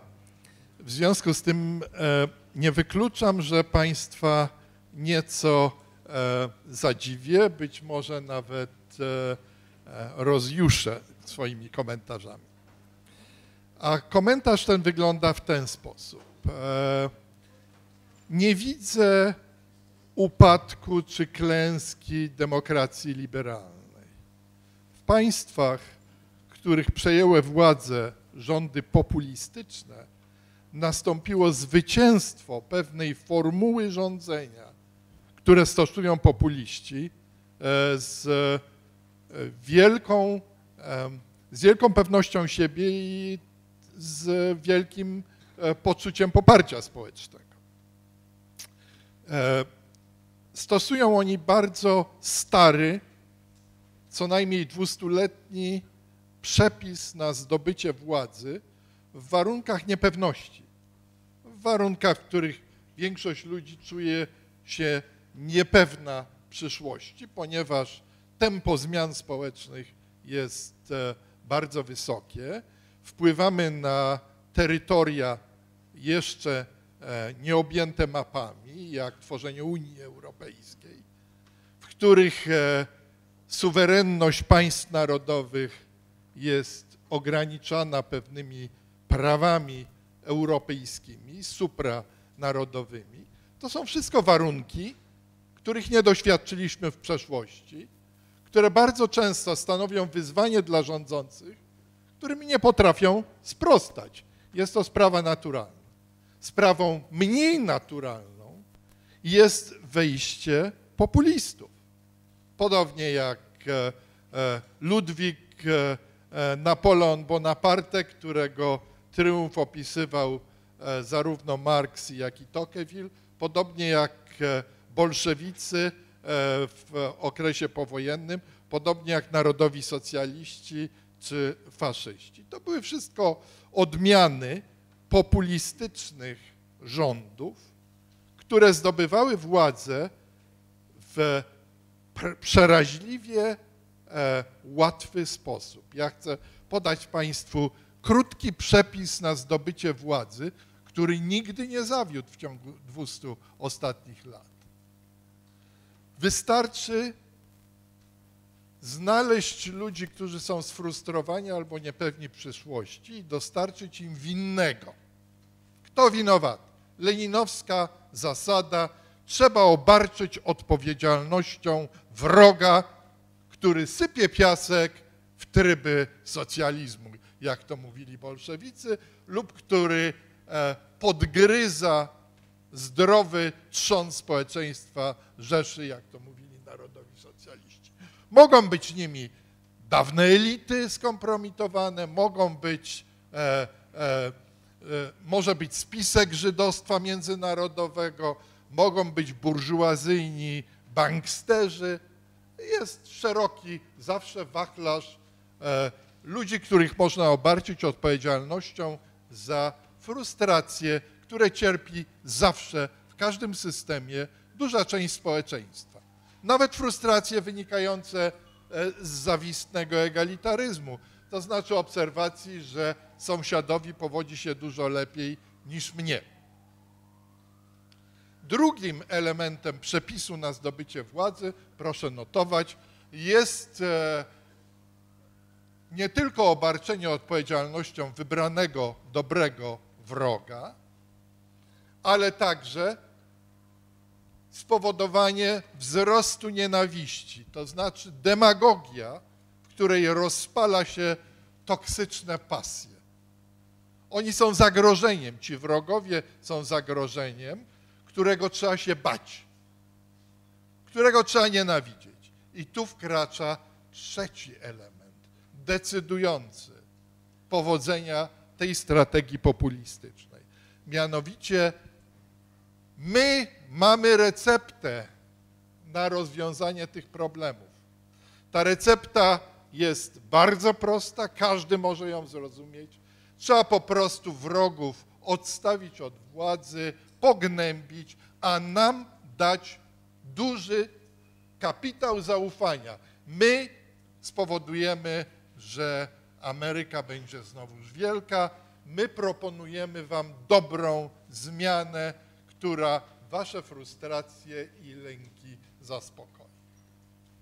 Dlaczego ta strategia jest tak, tak, tak cieszy się takim ogromnym sukcesem?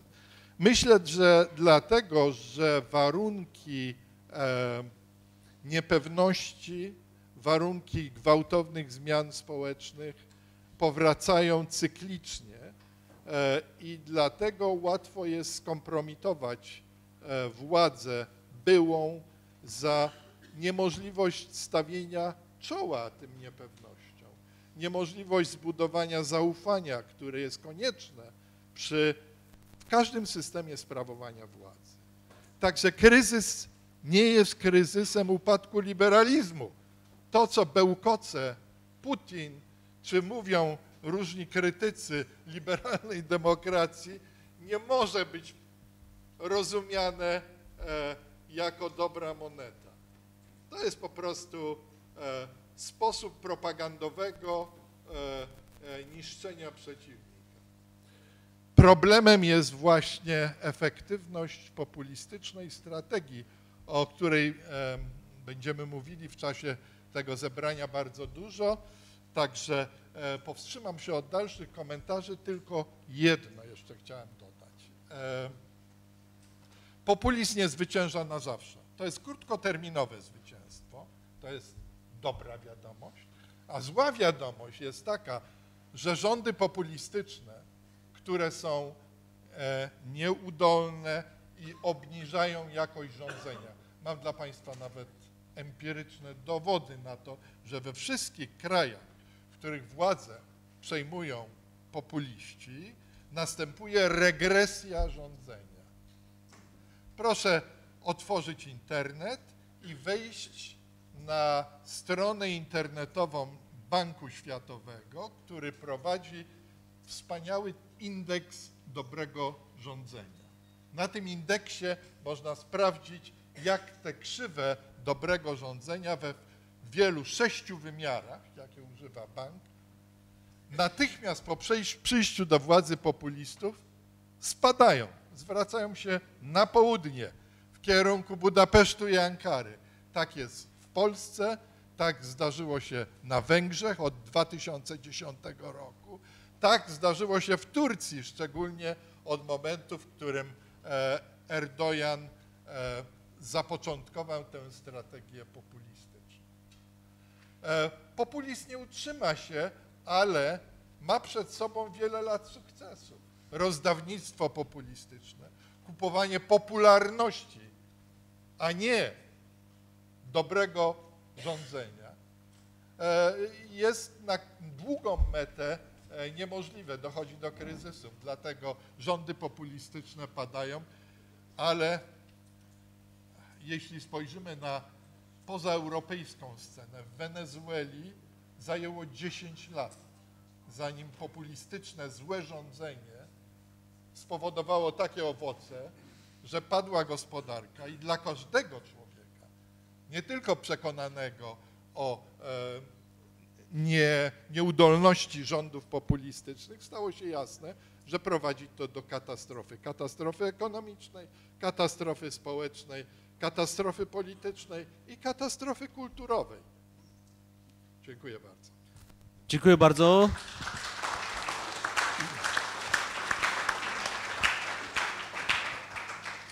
Drodzy Państwo, chciałem teraz oddać głos uczestnikom naszego spotkania, Państwu. E, bardzo proszę o... Mamy mikrofon gdzieś, tak? Mamy mikrofon? E, ktoś miał tutaj nim dysponować. E, za chwilę go być może odnajdziemy. E, drodzy Państwo, e, proszę o pytania, proszę o, e, o sugestie, proszę o krótkie wypowiedzi, ale z, z naciskiem na, na, na, krótkość. Mamy jeszcze kilkanaście minut naszego spotkania i chcielibyśmy posłuchać Państwa głosów.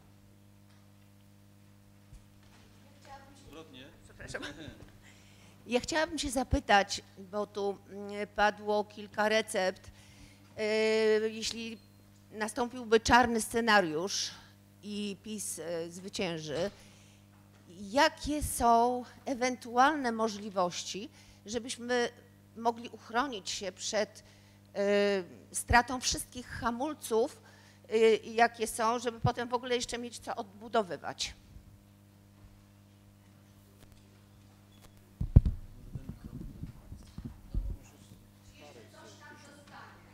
To, to może rzeczywiście, może parę rzeczywiście pytań i potem będziemy zbiorczo odpowiadać. Proszę bardzo.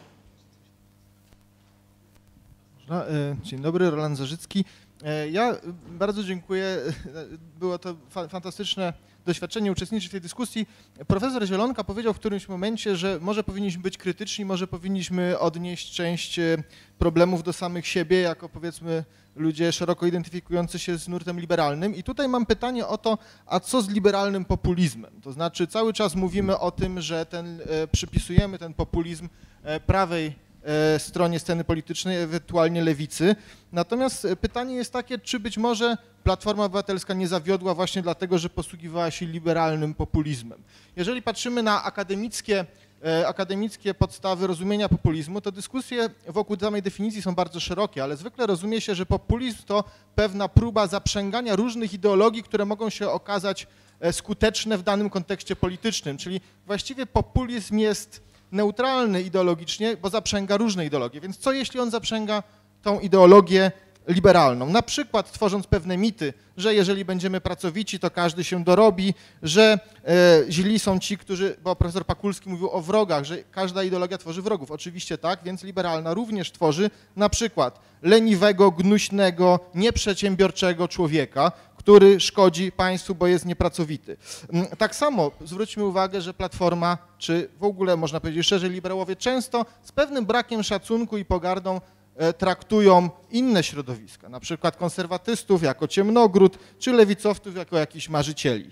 No i tutaj pojawia się pytanie, na ile, jakie lekcje liberalizm może wyciągnąć z takiej właśnie krytyki ideologii, populistycznej ideologii liberalnej i w jaki sposób zapobiec rozwojowi czegoś, co po angielsku nazywa się teraz e, e, illib- illiberal, illiberal democracy, czyli można powiedzieć nieliberalnych demokracji, bo coraz, e, dla wielu osób coraz bardziej wyobrażalna jest demokracja, która będzie nieliberalna. Dziękuję.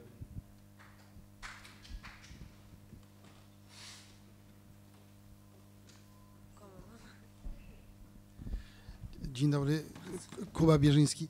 Ja mam pytanie dotyczące schematów wyjścia z, z ob- obecnej e, sytuacji czy kryzysu, bo e, pytanie jest takie, po pierwsze, czy, czy znamy przypadek w historii, w którym udało się populistów odsunąć od władzy nie poprzez głęboki cywilizacyjny kryzys, o którym pan profesor mówił? E, I jeśli tak, to w jaki sposób? A jeśli nie, no to rozumiem, że czekamy kryzysu. Ireneusz Siemiński. Ja mam właściwie pytanie i uwagę do pani Nalepy, bo fascynujący model pani przedstawiła, ale chciałem po pierwsze zwrócić uwagę, że były instytucjonalne lustracje zarówno służb bezpieczeństwa, jak i sędziów, o których zresztą ostatnio mówił bardzo często e, pan Strzembosz. I to nieprawda, że ich nie było. Więc tutaj widać, czegoś brakuje w tym modelu.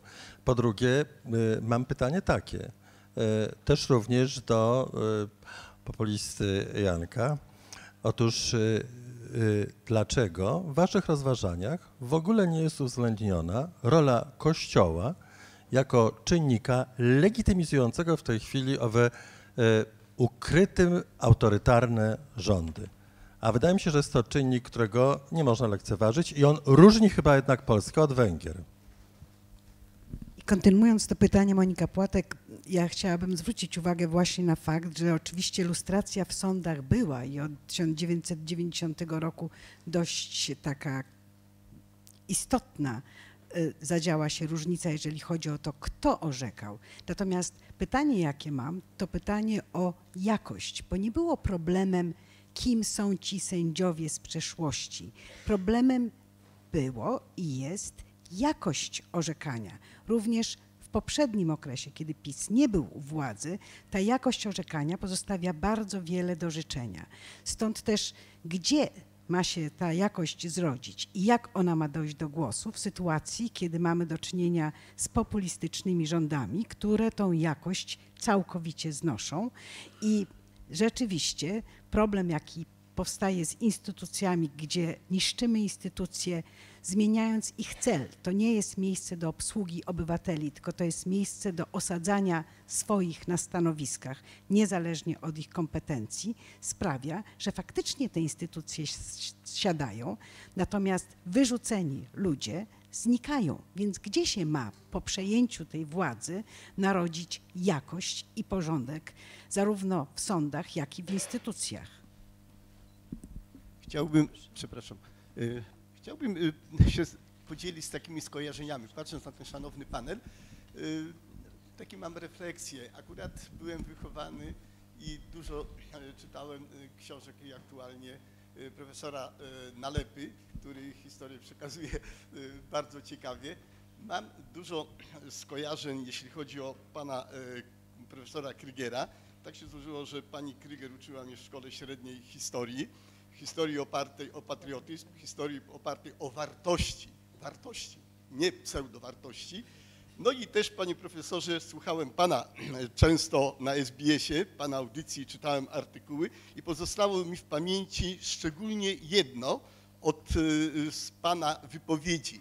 Instytucja stołu. Czy nie przypomina sobie pan około 18 lat temu, coś takiego, y, bardzo ciekawą pan miał audycję y, na pograniczu psychologii, socjologii i podkreślał pan tam instytucję stołu jako ojcowizny, jako, że najważniejszą instytucją wychowania to jest instytucja stołu, że się niszczy tę y, instytucję stołu. Już wtedy, to było około 15 lat temu. Y, Bym był y, wdzięczny, gdyby pan sobie powiedział, czy pan przypomina sobie tę audycję o tej instytucji stołu. Mówiłem o okrągłym. Pan mówił o instytucji stołu wychowania, panie profesorze. Ja to dobrze pamiętam i mam za notatki z tego. W każdym bądź, W każdym bądź razie widzę, widzę, że tu widzę dwóch panów profesorów pakulskich.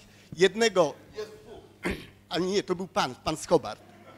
Drodzy Państwo, do, do konkluzji i do Tak. pytań. I, I także widzę tutaj zróżnicowanie. I teraz mówiąc właśnie, y, idąc torami pana redaktora o tym populizmie, ja bym się raczej przyłączył tutaj do pana pytań, co to jest populizm i kto go prowadzi. Czy ten populizm to nie są te hasła, te głosy, programy, które już się wzięły jeszcze dawno wcześniej, ale szczególnie z rewolucji francuskiej.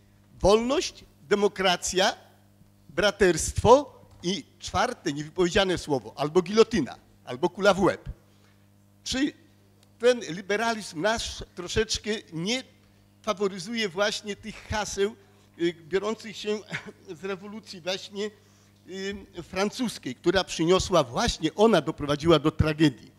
Y, Drodzy państwo, także, dajmy- także, przepraszam, także pytanie jest takie, gdzie jest prawda? Jeśli tutaj pan mówi, że nasz, jak pan powiedział, nasz głos, coś takiego, że mm, mm, liberalny, ale są jeszcze inne głosy.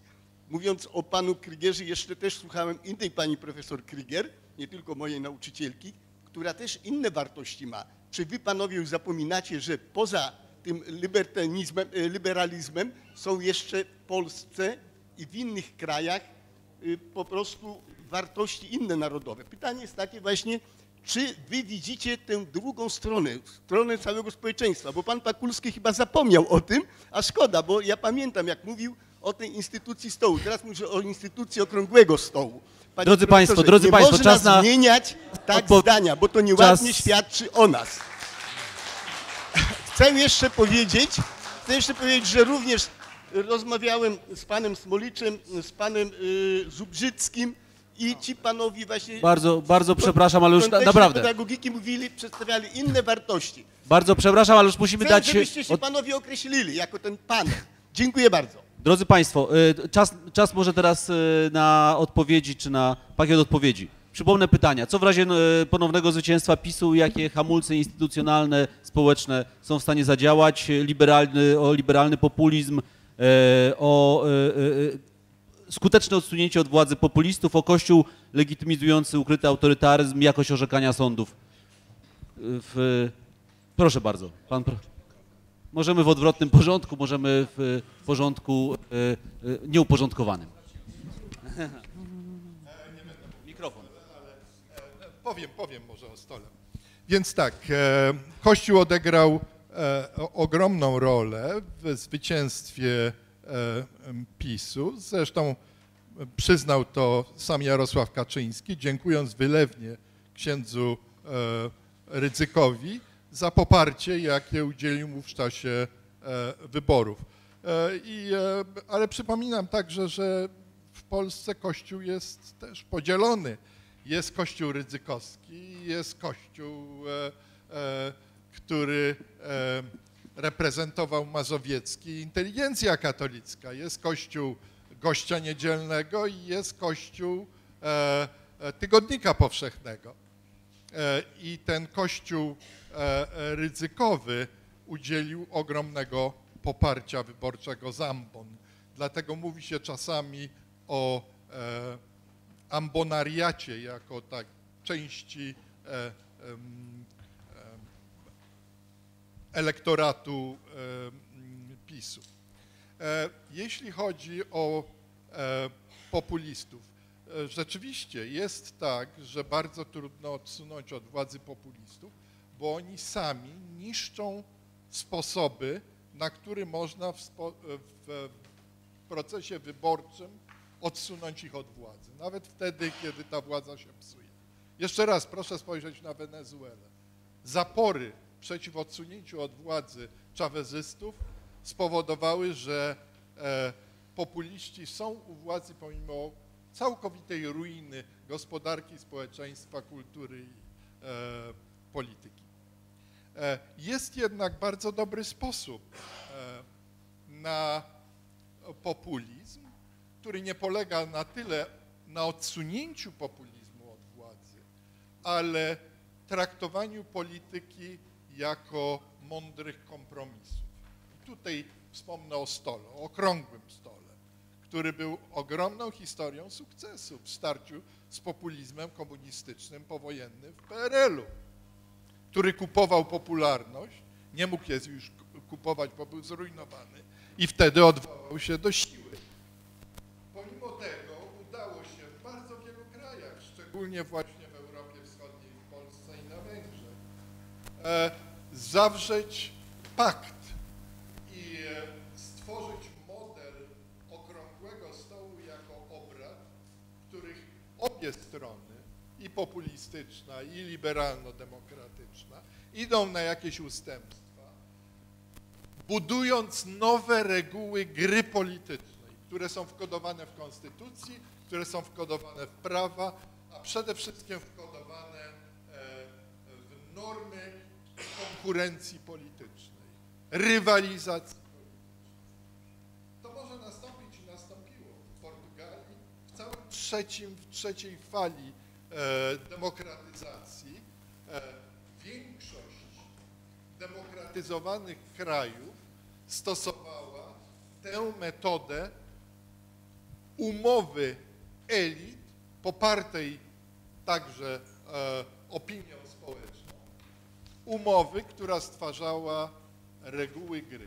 Zapobiegało to polaryzacji, podziałowi wewnątrz elit rządzących i wewnątrz społeczeństwa które zapobiegają wszelkim procesom liberalnej demokratyzacji.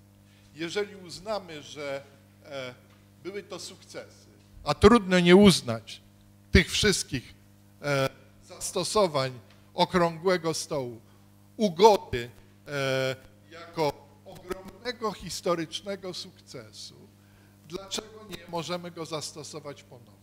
Dlaczego nie możemy powrócić do polityki nie walki i niszczenia, ale polityki, którą bardzo dobrze Mazowiecki właśnie określił, jako politykę mądrych kompromisów.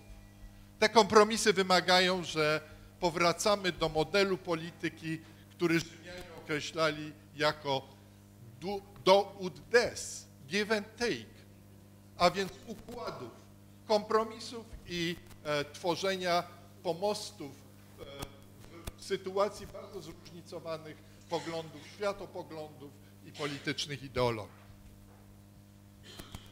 Z tym, z tym ostatnim zdania się bardzo e, zgadzam i polecam Państwu w tym almanachu przede wszystkim przeczytanie tekstu profesora Pomiana, który to e, wielu słowach e, i, i bardzo mądrze opisał.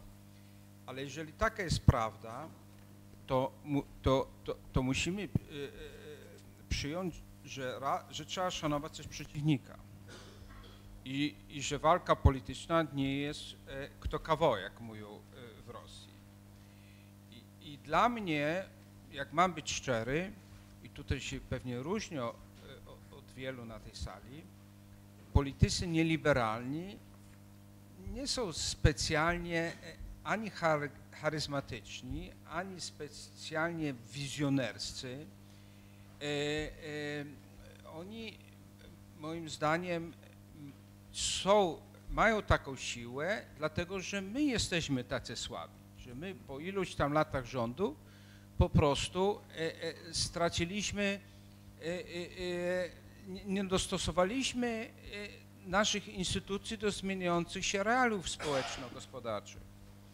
I dlatego w przeciwieństwie do moich większości kolegów, którzy wolą mówić o nich, ja wolę mówić o nas.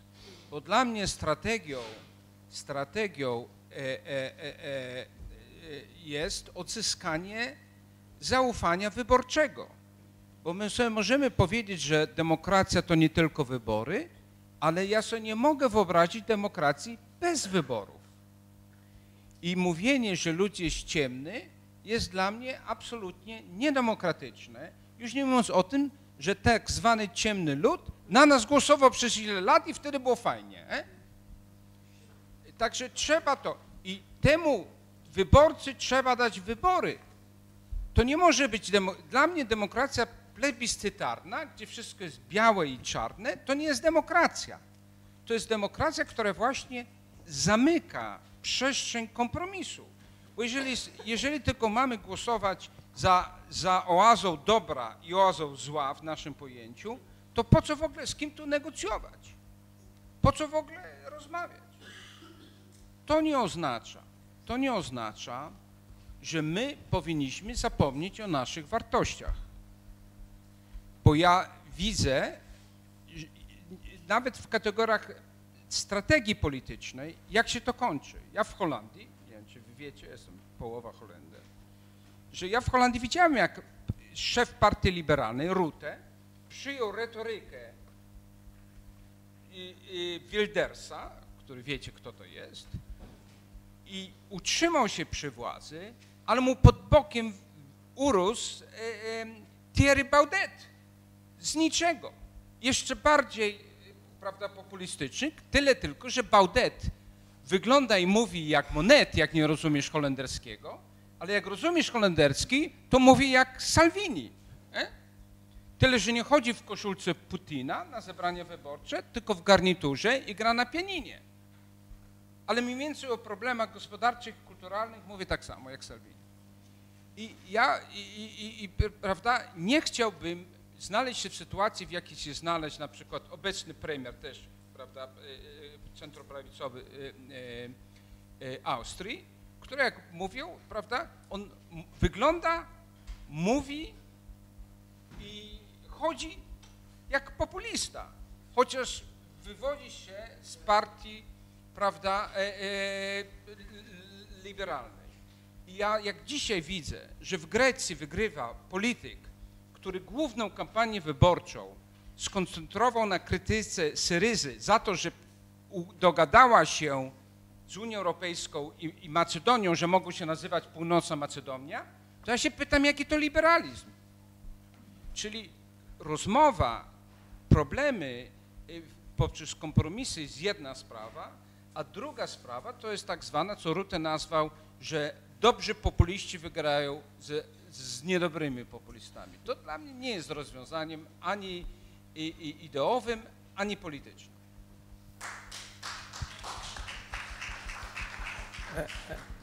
Znaczy, ja rozumiem krytykę e, liberałów, ale też chciałbym powiedzieć, e, e, szczególnie w polskich warunkach, śpieszmy się kochać demokrację, tak szybko odchodzi. Dlatego, że proszę Państwa, Polska nie ma, przed 90 rokiem nie miała wielkiej tradycji demokratycznej. Mieliśmy w historii dwa wolne wybory. W czasie wojny e, w 19, później w 22 roku. Więc nie jest tak, że my jesteśmy na demokrację skazani.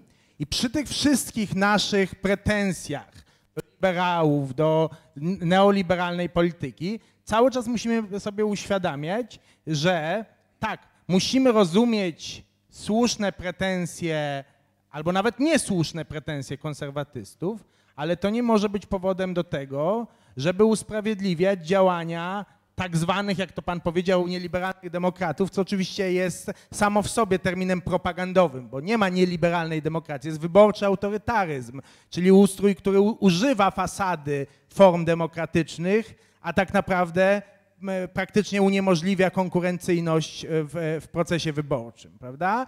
I teraz e, ja, ja bym powiedział, odpowiadając na pani pytanie, co jeśli, jeśli się jednak nie opamiętamy w tym cyklu wyborczym, nie zrozumiemy, że jakiekolwiek mamy pretensje do liberałów, to, e, to demokracja, system, w którym możemy kontrolować władzę przez proces wyborczy, jest cały czas e, o niebo lepszy niż alternatywa, którą nam proponuje e, partia rządząca. e, e, No to będziemy w bardzo trudnej sytuacji, dlatego że nikt tutaj jeszcze nie zwrócił uwagi na to, że w porównaniu do poprzednich autorytaryzmów, pan profesor wspomniał o Port- Portugalii, no, jeżeli byśmy mieli przez pokolenie czy dwa mieć taki autorytaryzm, to będzie klęska cywilizacyjna dla tego kraju, prawda? To ja nie wiem, jak sobie spojrzymy w oczy naszym dzieciom, wnukom, że sami na własne życzenie to sobie żeśmy zgotowali. Żaden obcy najeźdźca nam tego nie wprowadził, tylko my sami na pokolenie żeśmy wprowadzili e, autorytarny system. No a co więcej, nie uwzględniałem te historyczne analogie tego, że mamy e, ogromny postęp i niestety bardzo niepokojący technologiczny, że mamy te informacyjne, media społecznościowe i tak naprawdę nie wiemy, to, to, to, to wszystko, coraz więcej jest dowodów na to, że to wspiera właśnie populistów, wspiera ludzi bezwzględnych i tak naprawdę nie mamy dobrego przykładu w erze Facebooka, jak populistów przekonać. Nie udaje się to w Turcji, mimo jakiejś jaskółki nadziei w Istambule, ale to jeszcze może się bardzo różnie potoczyć. Na pewno nie udaje się na Węgrzech. Wenezuela jest niesamowitym przykładem, przecież ten kraj umiera, a mimo to władza się trzyma. Więc jakby musimy sobie uświadomić, co jest, że tak powiem, at stake na jesieni. E, I, i, i ja rozumiem, że są rachunki krzywd, ale, ale, ale po prostu myślmy o tym, że my naprawdę nie jesteśmy skazani na demokrację. Jesteśmy państwem na styku kultur, na styku wschodu i zachodu i po prostu możemy z tego pociągu, czy autobusu, jak to mówił Erdogan, wypaść na pokolenie.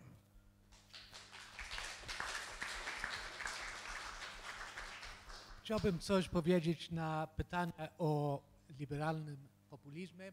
Pan też a, wspomniał frazę, zdanie. A, nie, ben, mówił coś o liberalnym populizmie i a, nieliberalnym demokracją. Żyjemy pod tyranią słów, klisze często. I liberalizm i populizm są często używane jako klisze. Mój wróg to jest populista. I między nimi, nawet jeśli czujesz, że, jest, że jesteś liberałem, ten drugi, który też myśli, że jest liberałem, jest twoim oponentem, bo ma jeszcze inne, inne wartości.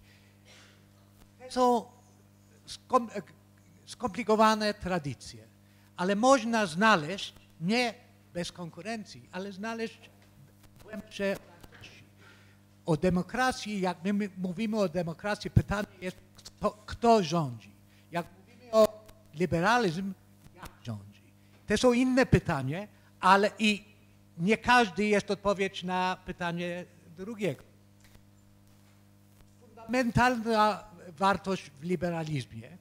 Ja nie chcę e, być, I don't nie chcę być obrońcą tego słowa, ale często słyszy się w tradycji, że nie, że oczywiście liberté jest ważne w liberalizmie, to dość proste, a żeby to dostać, nie można polegać tylko na zalety człowieka, który rządzi, ale musisz jakoś instytucjonalizować ograniczenia. Ok.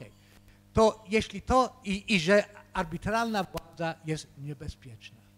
Jeśli tak, to liber, w liberalnej tradycji jest odpowiedź na neoliberalne a, poświęcenie free market. Bo jeśli jakiś, jakaś firma, albo Facebook, albo Bitcoin, albo nie wiem co, ma arbitralną władzę, dlaczego to jest mniej a, niebezpieczne niż jeśli rząd? To to jest, moja liberalna odpowiedź. Ale jeśli to jest wartością, to populistyczna i nieliberalna demokracja jest oksymoron. Jest, e, nie można iść w parze, bo demokracja to nie, nie jest tylko wola ludu, ale sytuacja, gdzie lud może e, rozważyć, mieć informacje, mieć e, możliwość komunikacji, mieć możliwość czytać prawdę i tak dalej. I nieliberalne elementy tych rządów na Węgrzech i tutaj coraz bardziej są atakami na dokładnie te wartości. Dlatego ja myślę, że ja bym e, bronił niepopulistyczny liberalizm i nie nieliberalne demokracje.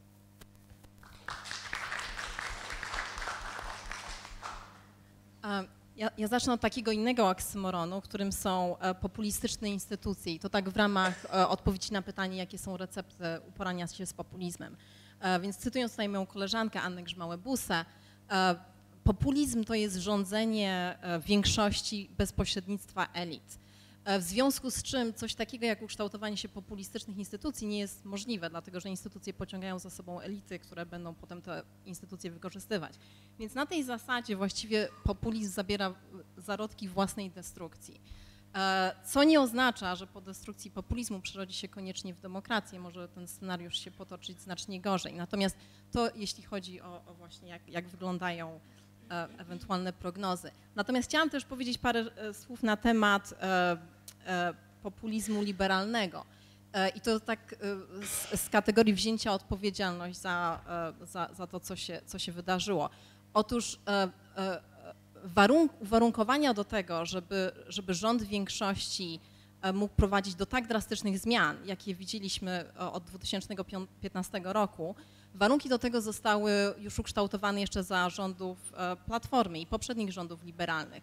Wtedy, kiedy przeprowadzano zmiany instytucjonalne w parlamencie, w kabinecie, pozwalające na to, żeby właściwie ten, kto wygrywa wybory i ten, kto jest w stanie objąć rządy gabinetowe e, mógł e, z, błyskawiczną prędkością przeprowadzać ustawy prawie że bez wkładu opozycji. Także zarodki tej sytuacji, że ten, kto wy, że, że po wygraniu wyborów parlamentarnych można natychmiast przechodzić do, e, do wdrażania polityki nieliberalnej, możliwości na to pojawiły się wcześniej. Z tym, że nam to nie przeszkadzało, dlatego że, że, że, że, że, że, że legislacja, która się pojawiła wówczas, akurat była zgodna z naszymi preferencjami, ale trzeba po prostu wziąć za to odpowiedzialność.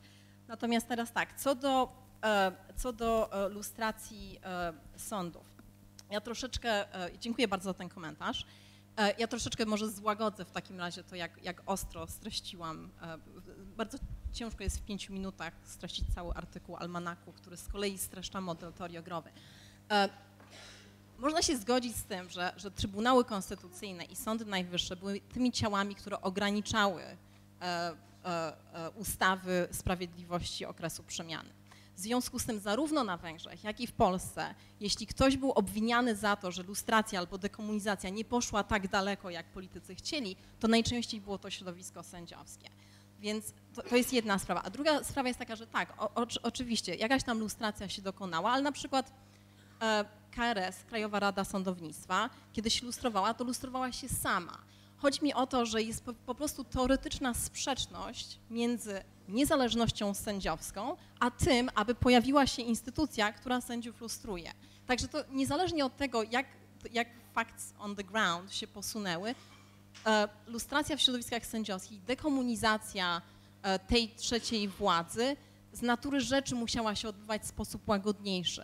I to nie jest, nie chodzi mi o to, żeby tutaj się spierać o fakty, ale posłużyło to za pretekst zarówno Orbanowi, jak i Kaczyńskiemu czy PiSowi, żeby, e, żeby właśnie po kolei e, e, te, te, te, te, niezależne instytucje podważać.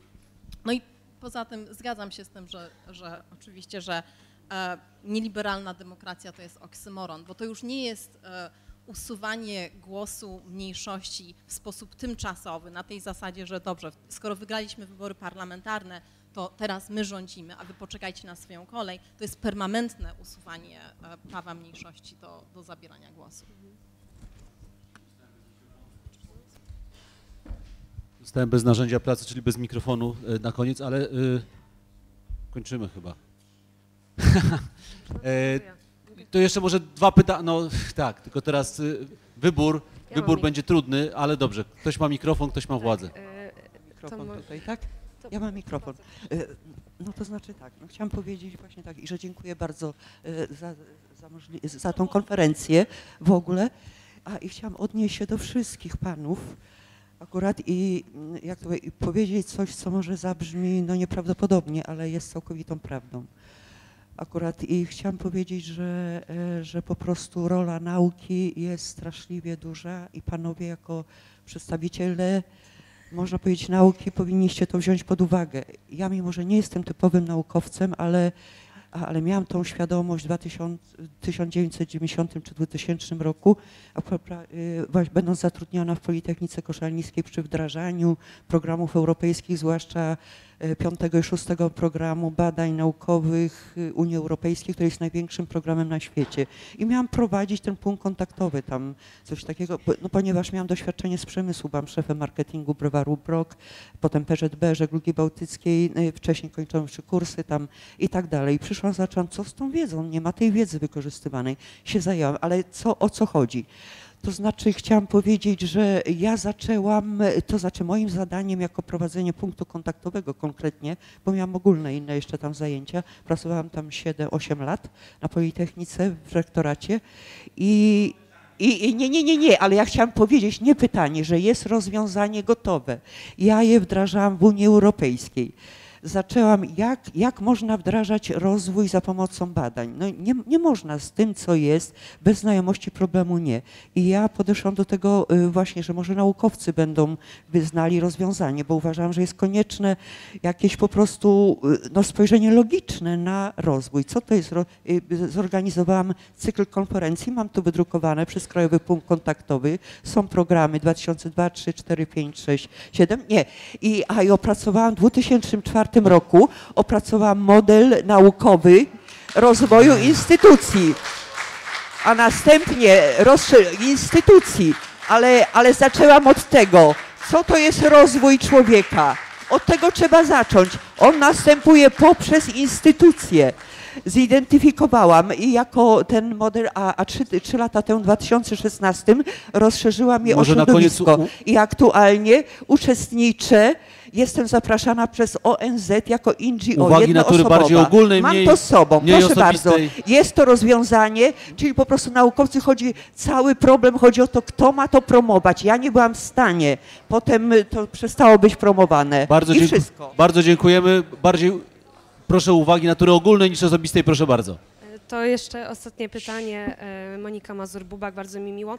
E, chciałam zacząć od profesora Pakulskiego. E, pan profesor przedstawił nam tutaj taką receptę na wygraną i mówił nieco o frustracji i też o lęku grup społecznych. I chciałam się tutaj odnieść do tezy Marty Nussbaum, którą pewnie pani profesor Nalepa zna, zgodnie z którą strach, a właściwie lęk panoszący się w społeczeństwie jest takim główną, główną, głównym motywem destrukcyjnym dla demokracji.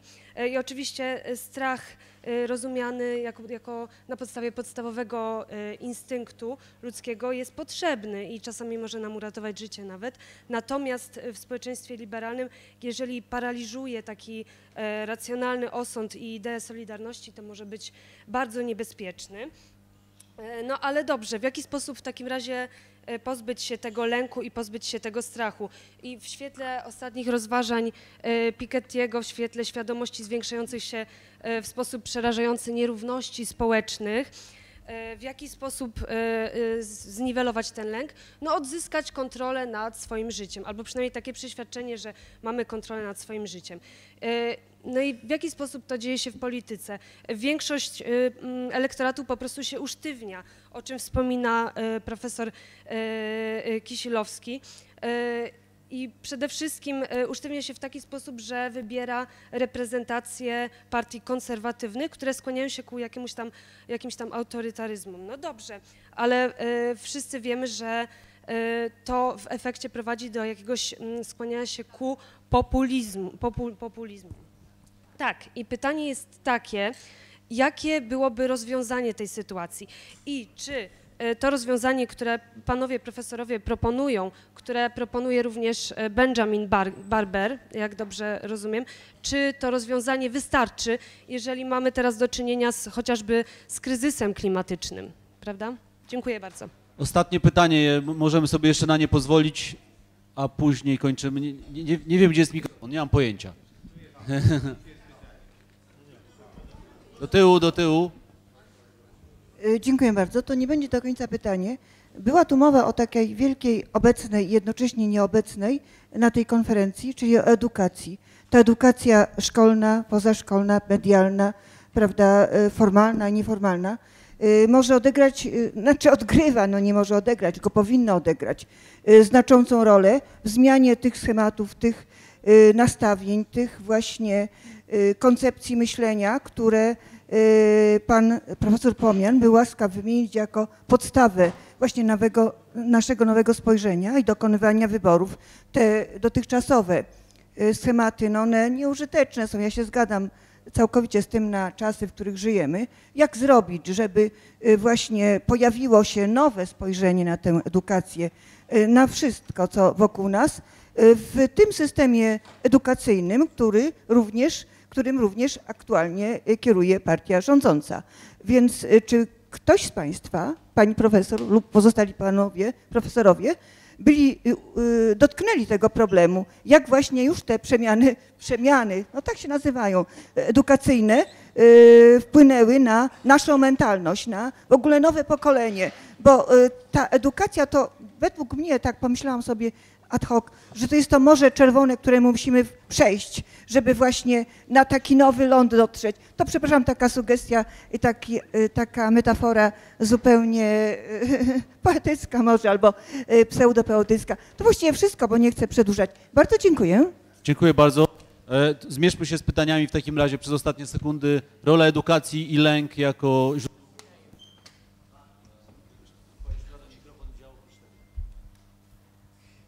Jest takie powiedzenie słynne, że pokój to nie tylko nieobecność wojny, ale też nieobecność strachu. Ale jak to zapewnić? I tutaj nie ma jednego czynnika, prawda? To nie jest tak. Jedni myślą, że edukacja, inni y, powiedzą gospodarka, inni powiedzą modlitwa. To każdy ma, y, każdy ma rację i nie ma racji. Ja uważam, że najważniejsze jest to, żeby, zwłaszcza w środowisku intelektualnym, żeby nie chować, jak się to mówiło, rzeczy pod dywan. Bo ile razy słyszałem, o, nie mówmy tak krytycznie o tym, co żeśmy zrobili, bo teraz są wybory i, i dajemy tylko wodę na młyn naszym przeciwnikom. No ale w takiej sytuacji to my nigdy nie możemy zrozumieć, e, jak wymyślić e, e, e, nasze państwo, naszą demokrację i gospodarkę na nowo. My nie jesteśmy na uniwersytetach w partiach politycznych, które muszą mobilizować wyborców. My tutaj jesteśmy, żeby zrozumieć, jak działa społeczeństwo, jak działają instytucje, jak działa prawo. Tak jest nasze zadanie.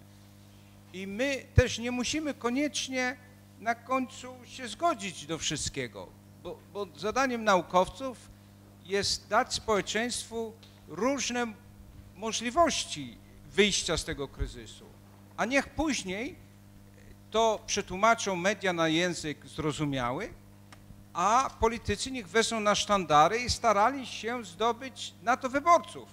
Takie jest moje zrozumienie naszej roli. My tutaj jesteśmy, żeby zrozumieć i żeby ewentualnie podsunąć to menu pod, pod, pod, pod nos innym. A co oni z tym zrobią, to ja osobiście mogę mieć nadzieję, że wybiorą drogę liberalną, bo jestem liberałem. Ale, e, e, ale to jest już historia. To niech to ocenią historycy za 100 lat. Fantastyczne pytanie i ja e, e, tak pan profesor namawia, żeby eksperymentować. No, e, my w Almanachu napisaliśmy bardzo konkretną propozycję, prawda? E, dokładnie identyfikuje pani to, co Nussbaum mówi, że ludzie potrzebują możliwości, sprawczości, prawda? A jednocześnie mamy te globalne dobra publiczne, świetnie pani to ujęła, które wymagają od, oddawania decyzji coraz wyżej. Jak to zrobić? Naszym, e, naszą receptą e, w, w, tym, w, tym naszym, w tej naszej grupie zdecentralizowana RP jest właśnie decentralizacja. Żeby te rzeczy, które nie, od których nie zależy niepodległość Polski albo nie zależy przyszłość planety, po prostu przekazywać niżej prawda? I, I akceptować to, że tam niżej mogą być błędy, sprzeczności, bo to, że nie możemy e, pójść na kompromis w sprawie e, emisji dwutlenku węgla, nie oznacza, że nie możemy pójść na kompromis nigdzie, prawda?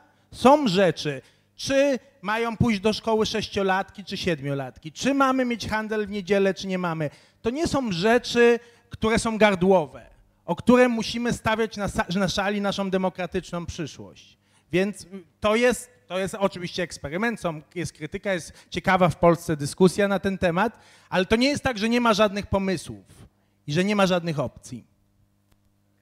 Chciałbym trochę powiedzieć o edukacji, bo to jest ogromnie ważne. Ja myślę, że to jest zadanie Concilium Civitas, bo my jesteśmy, pan profesor Kieślowski, ja prawnik, dlatego musimy być nudni, bardzo skoncentrowani na bardzo techniczne rzeczy, ale to nie jest prawda, bo jak my mówimy o rządów prawa, mówimy o fundamentalne wartości społeczne i polityczne, żeby prawo nie było nieograniczone. Ale często w społeczeństwie ludzie myślą, no to jest problem, prawnicy mogą o tym gadać, ale to nie nasz problem. I gdzie indziej są, o co to chodzi, o gra, o co gra chodzi tych sporach dzisiejszych często i w Polsce, i gdzie indziej są spory, które mają powszechne instancje, egzemplarze i tak ale spory o najbardziej fundamentalnych wartości. I jedna, jeden, jedna zadanie naszych naukowców jest pokazać, że to, co tam dzieje, te brudne, niełatwo do zrozumienia spory między Trybunałem i prezesem i prezydentem i tak dalej, mają głębokie, głębokie skutki i dotyczają doty głębokie wartości. Dziękuję bardzo. Ja, ja, na temat edukacji mam e, komentarz nie jako profesor czy profesorka, jak się teraz mówi, tak, ale jako, jako matka. E, mieszkająca w Chicago, gdzie nie wiem, czy Państwo wiedzą, ale szkół polskich jest kilkadziesiąt, e, ale każda z nich e, prowadzi oprócz e, zajęć z języka polskiego i z historii, to już pominę w jaki sposób ta historia jest uczona, e, lekcje z religii, które są najczęściej w samym środku programu zajęć. W związku z tym e, mam sześcioletnią córkę i nie mogę jej posłać do szkoły i, i albo będę ją uczyć polskiego sama, co pewnie skończy się dosyć kiepsko, albo nie wiem, jakoś przełknę to. Ale, ale wspominam o tym dlatego, że e, ja zaczynałam swoją edukację w szkole średniej po transformacji ustrojowej w Polsce, wtedy, kiedy religia powracała do szkół.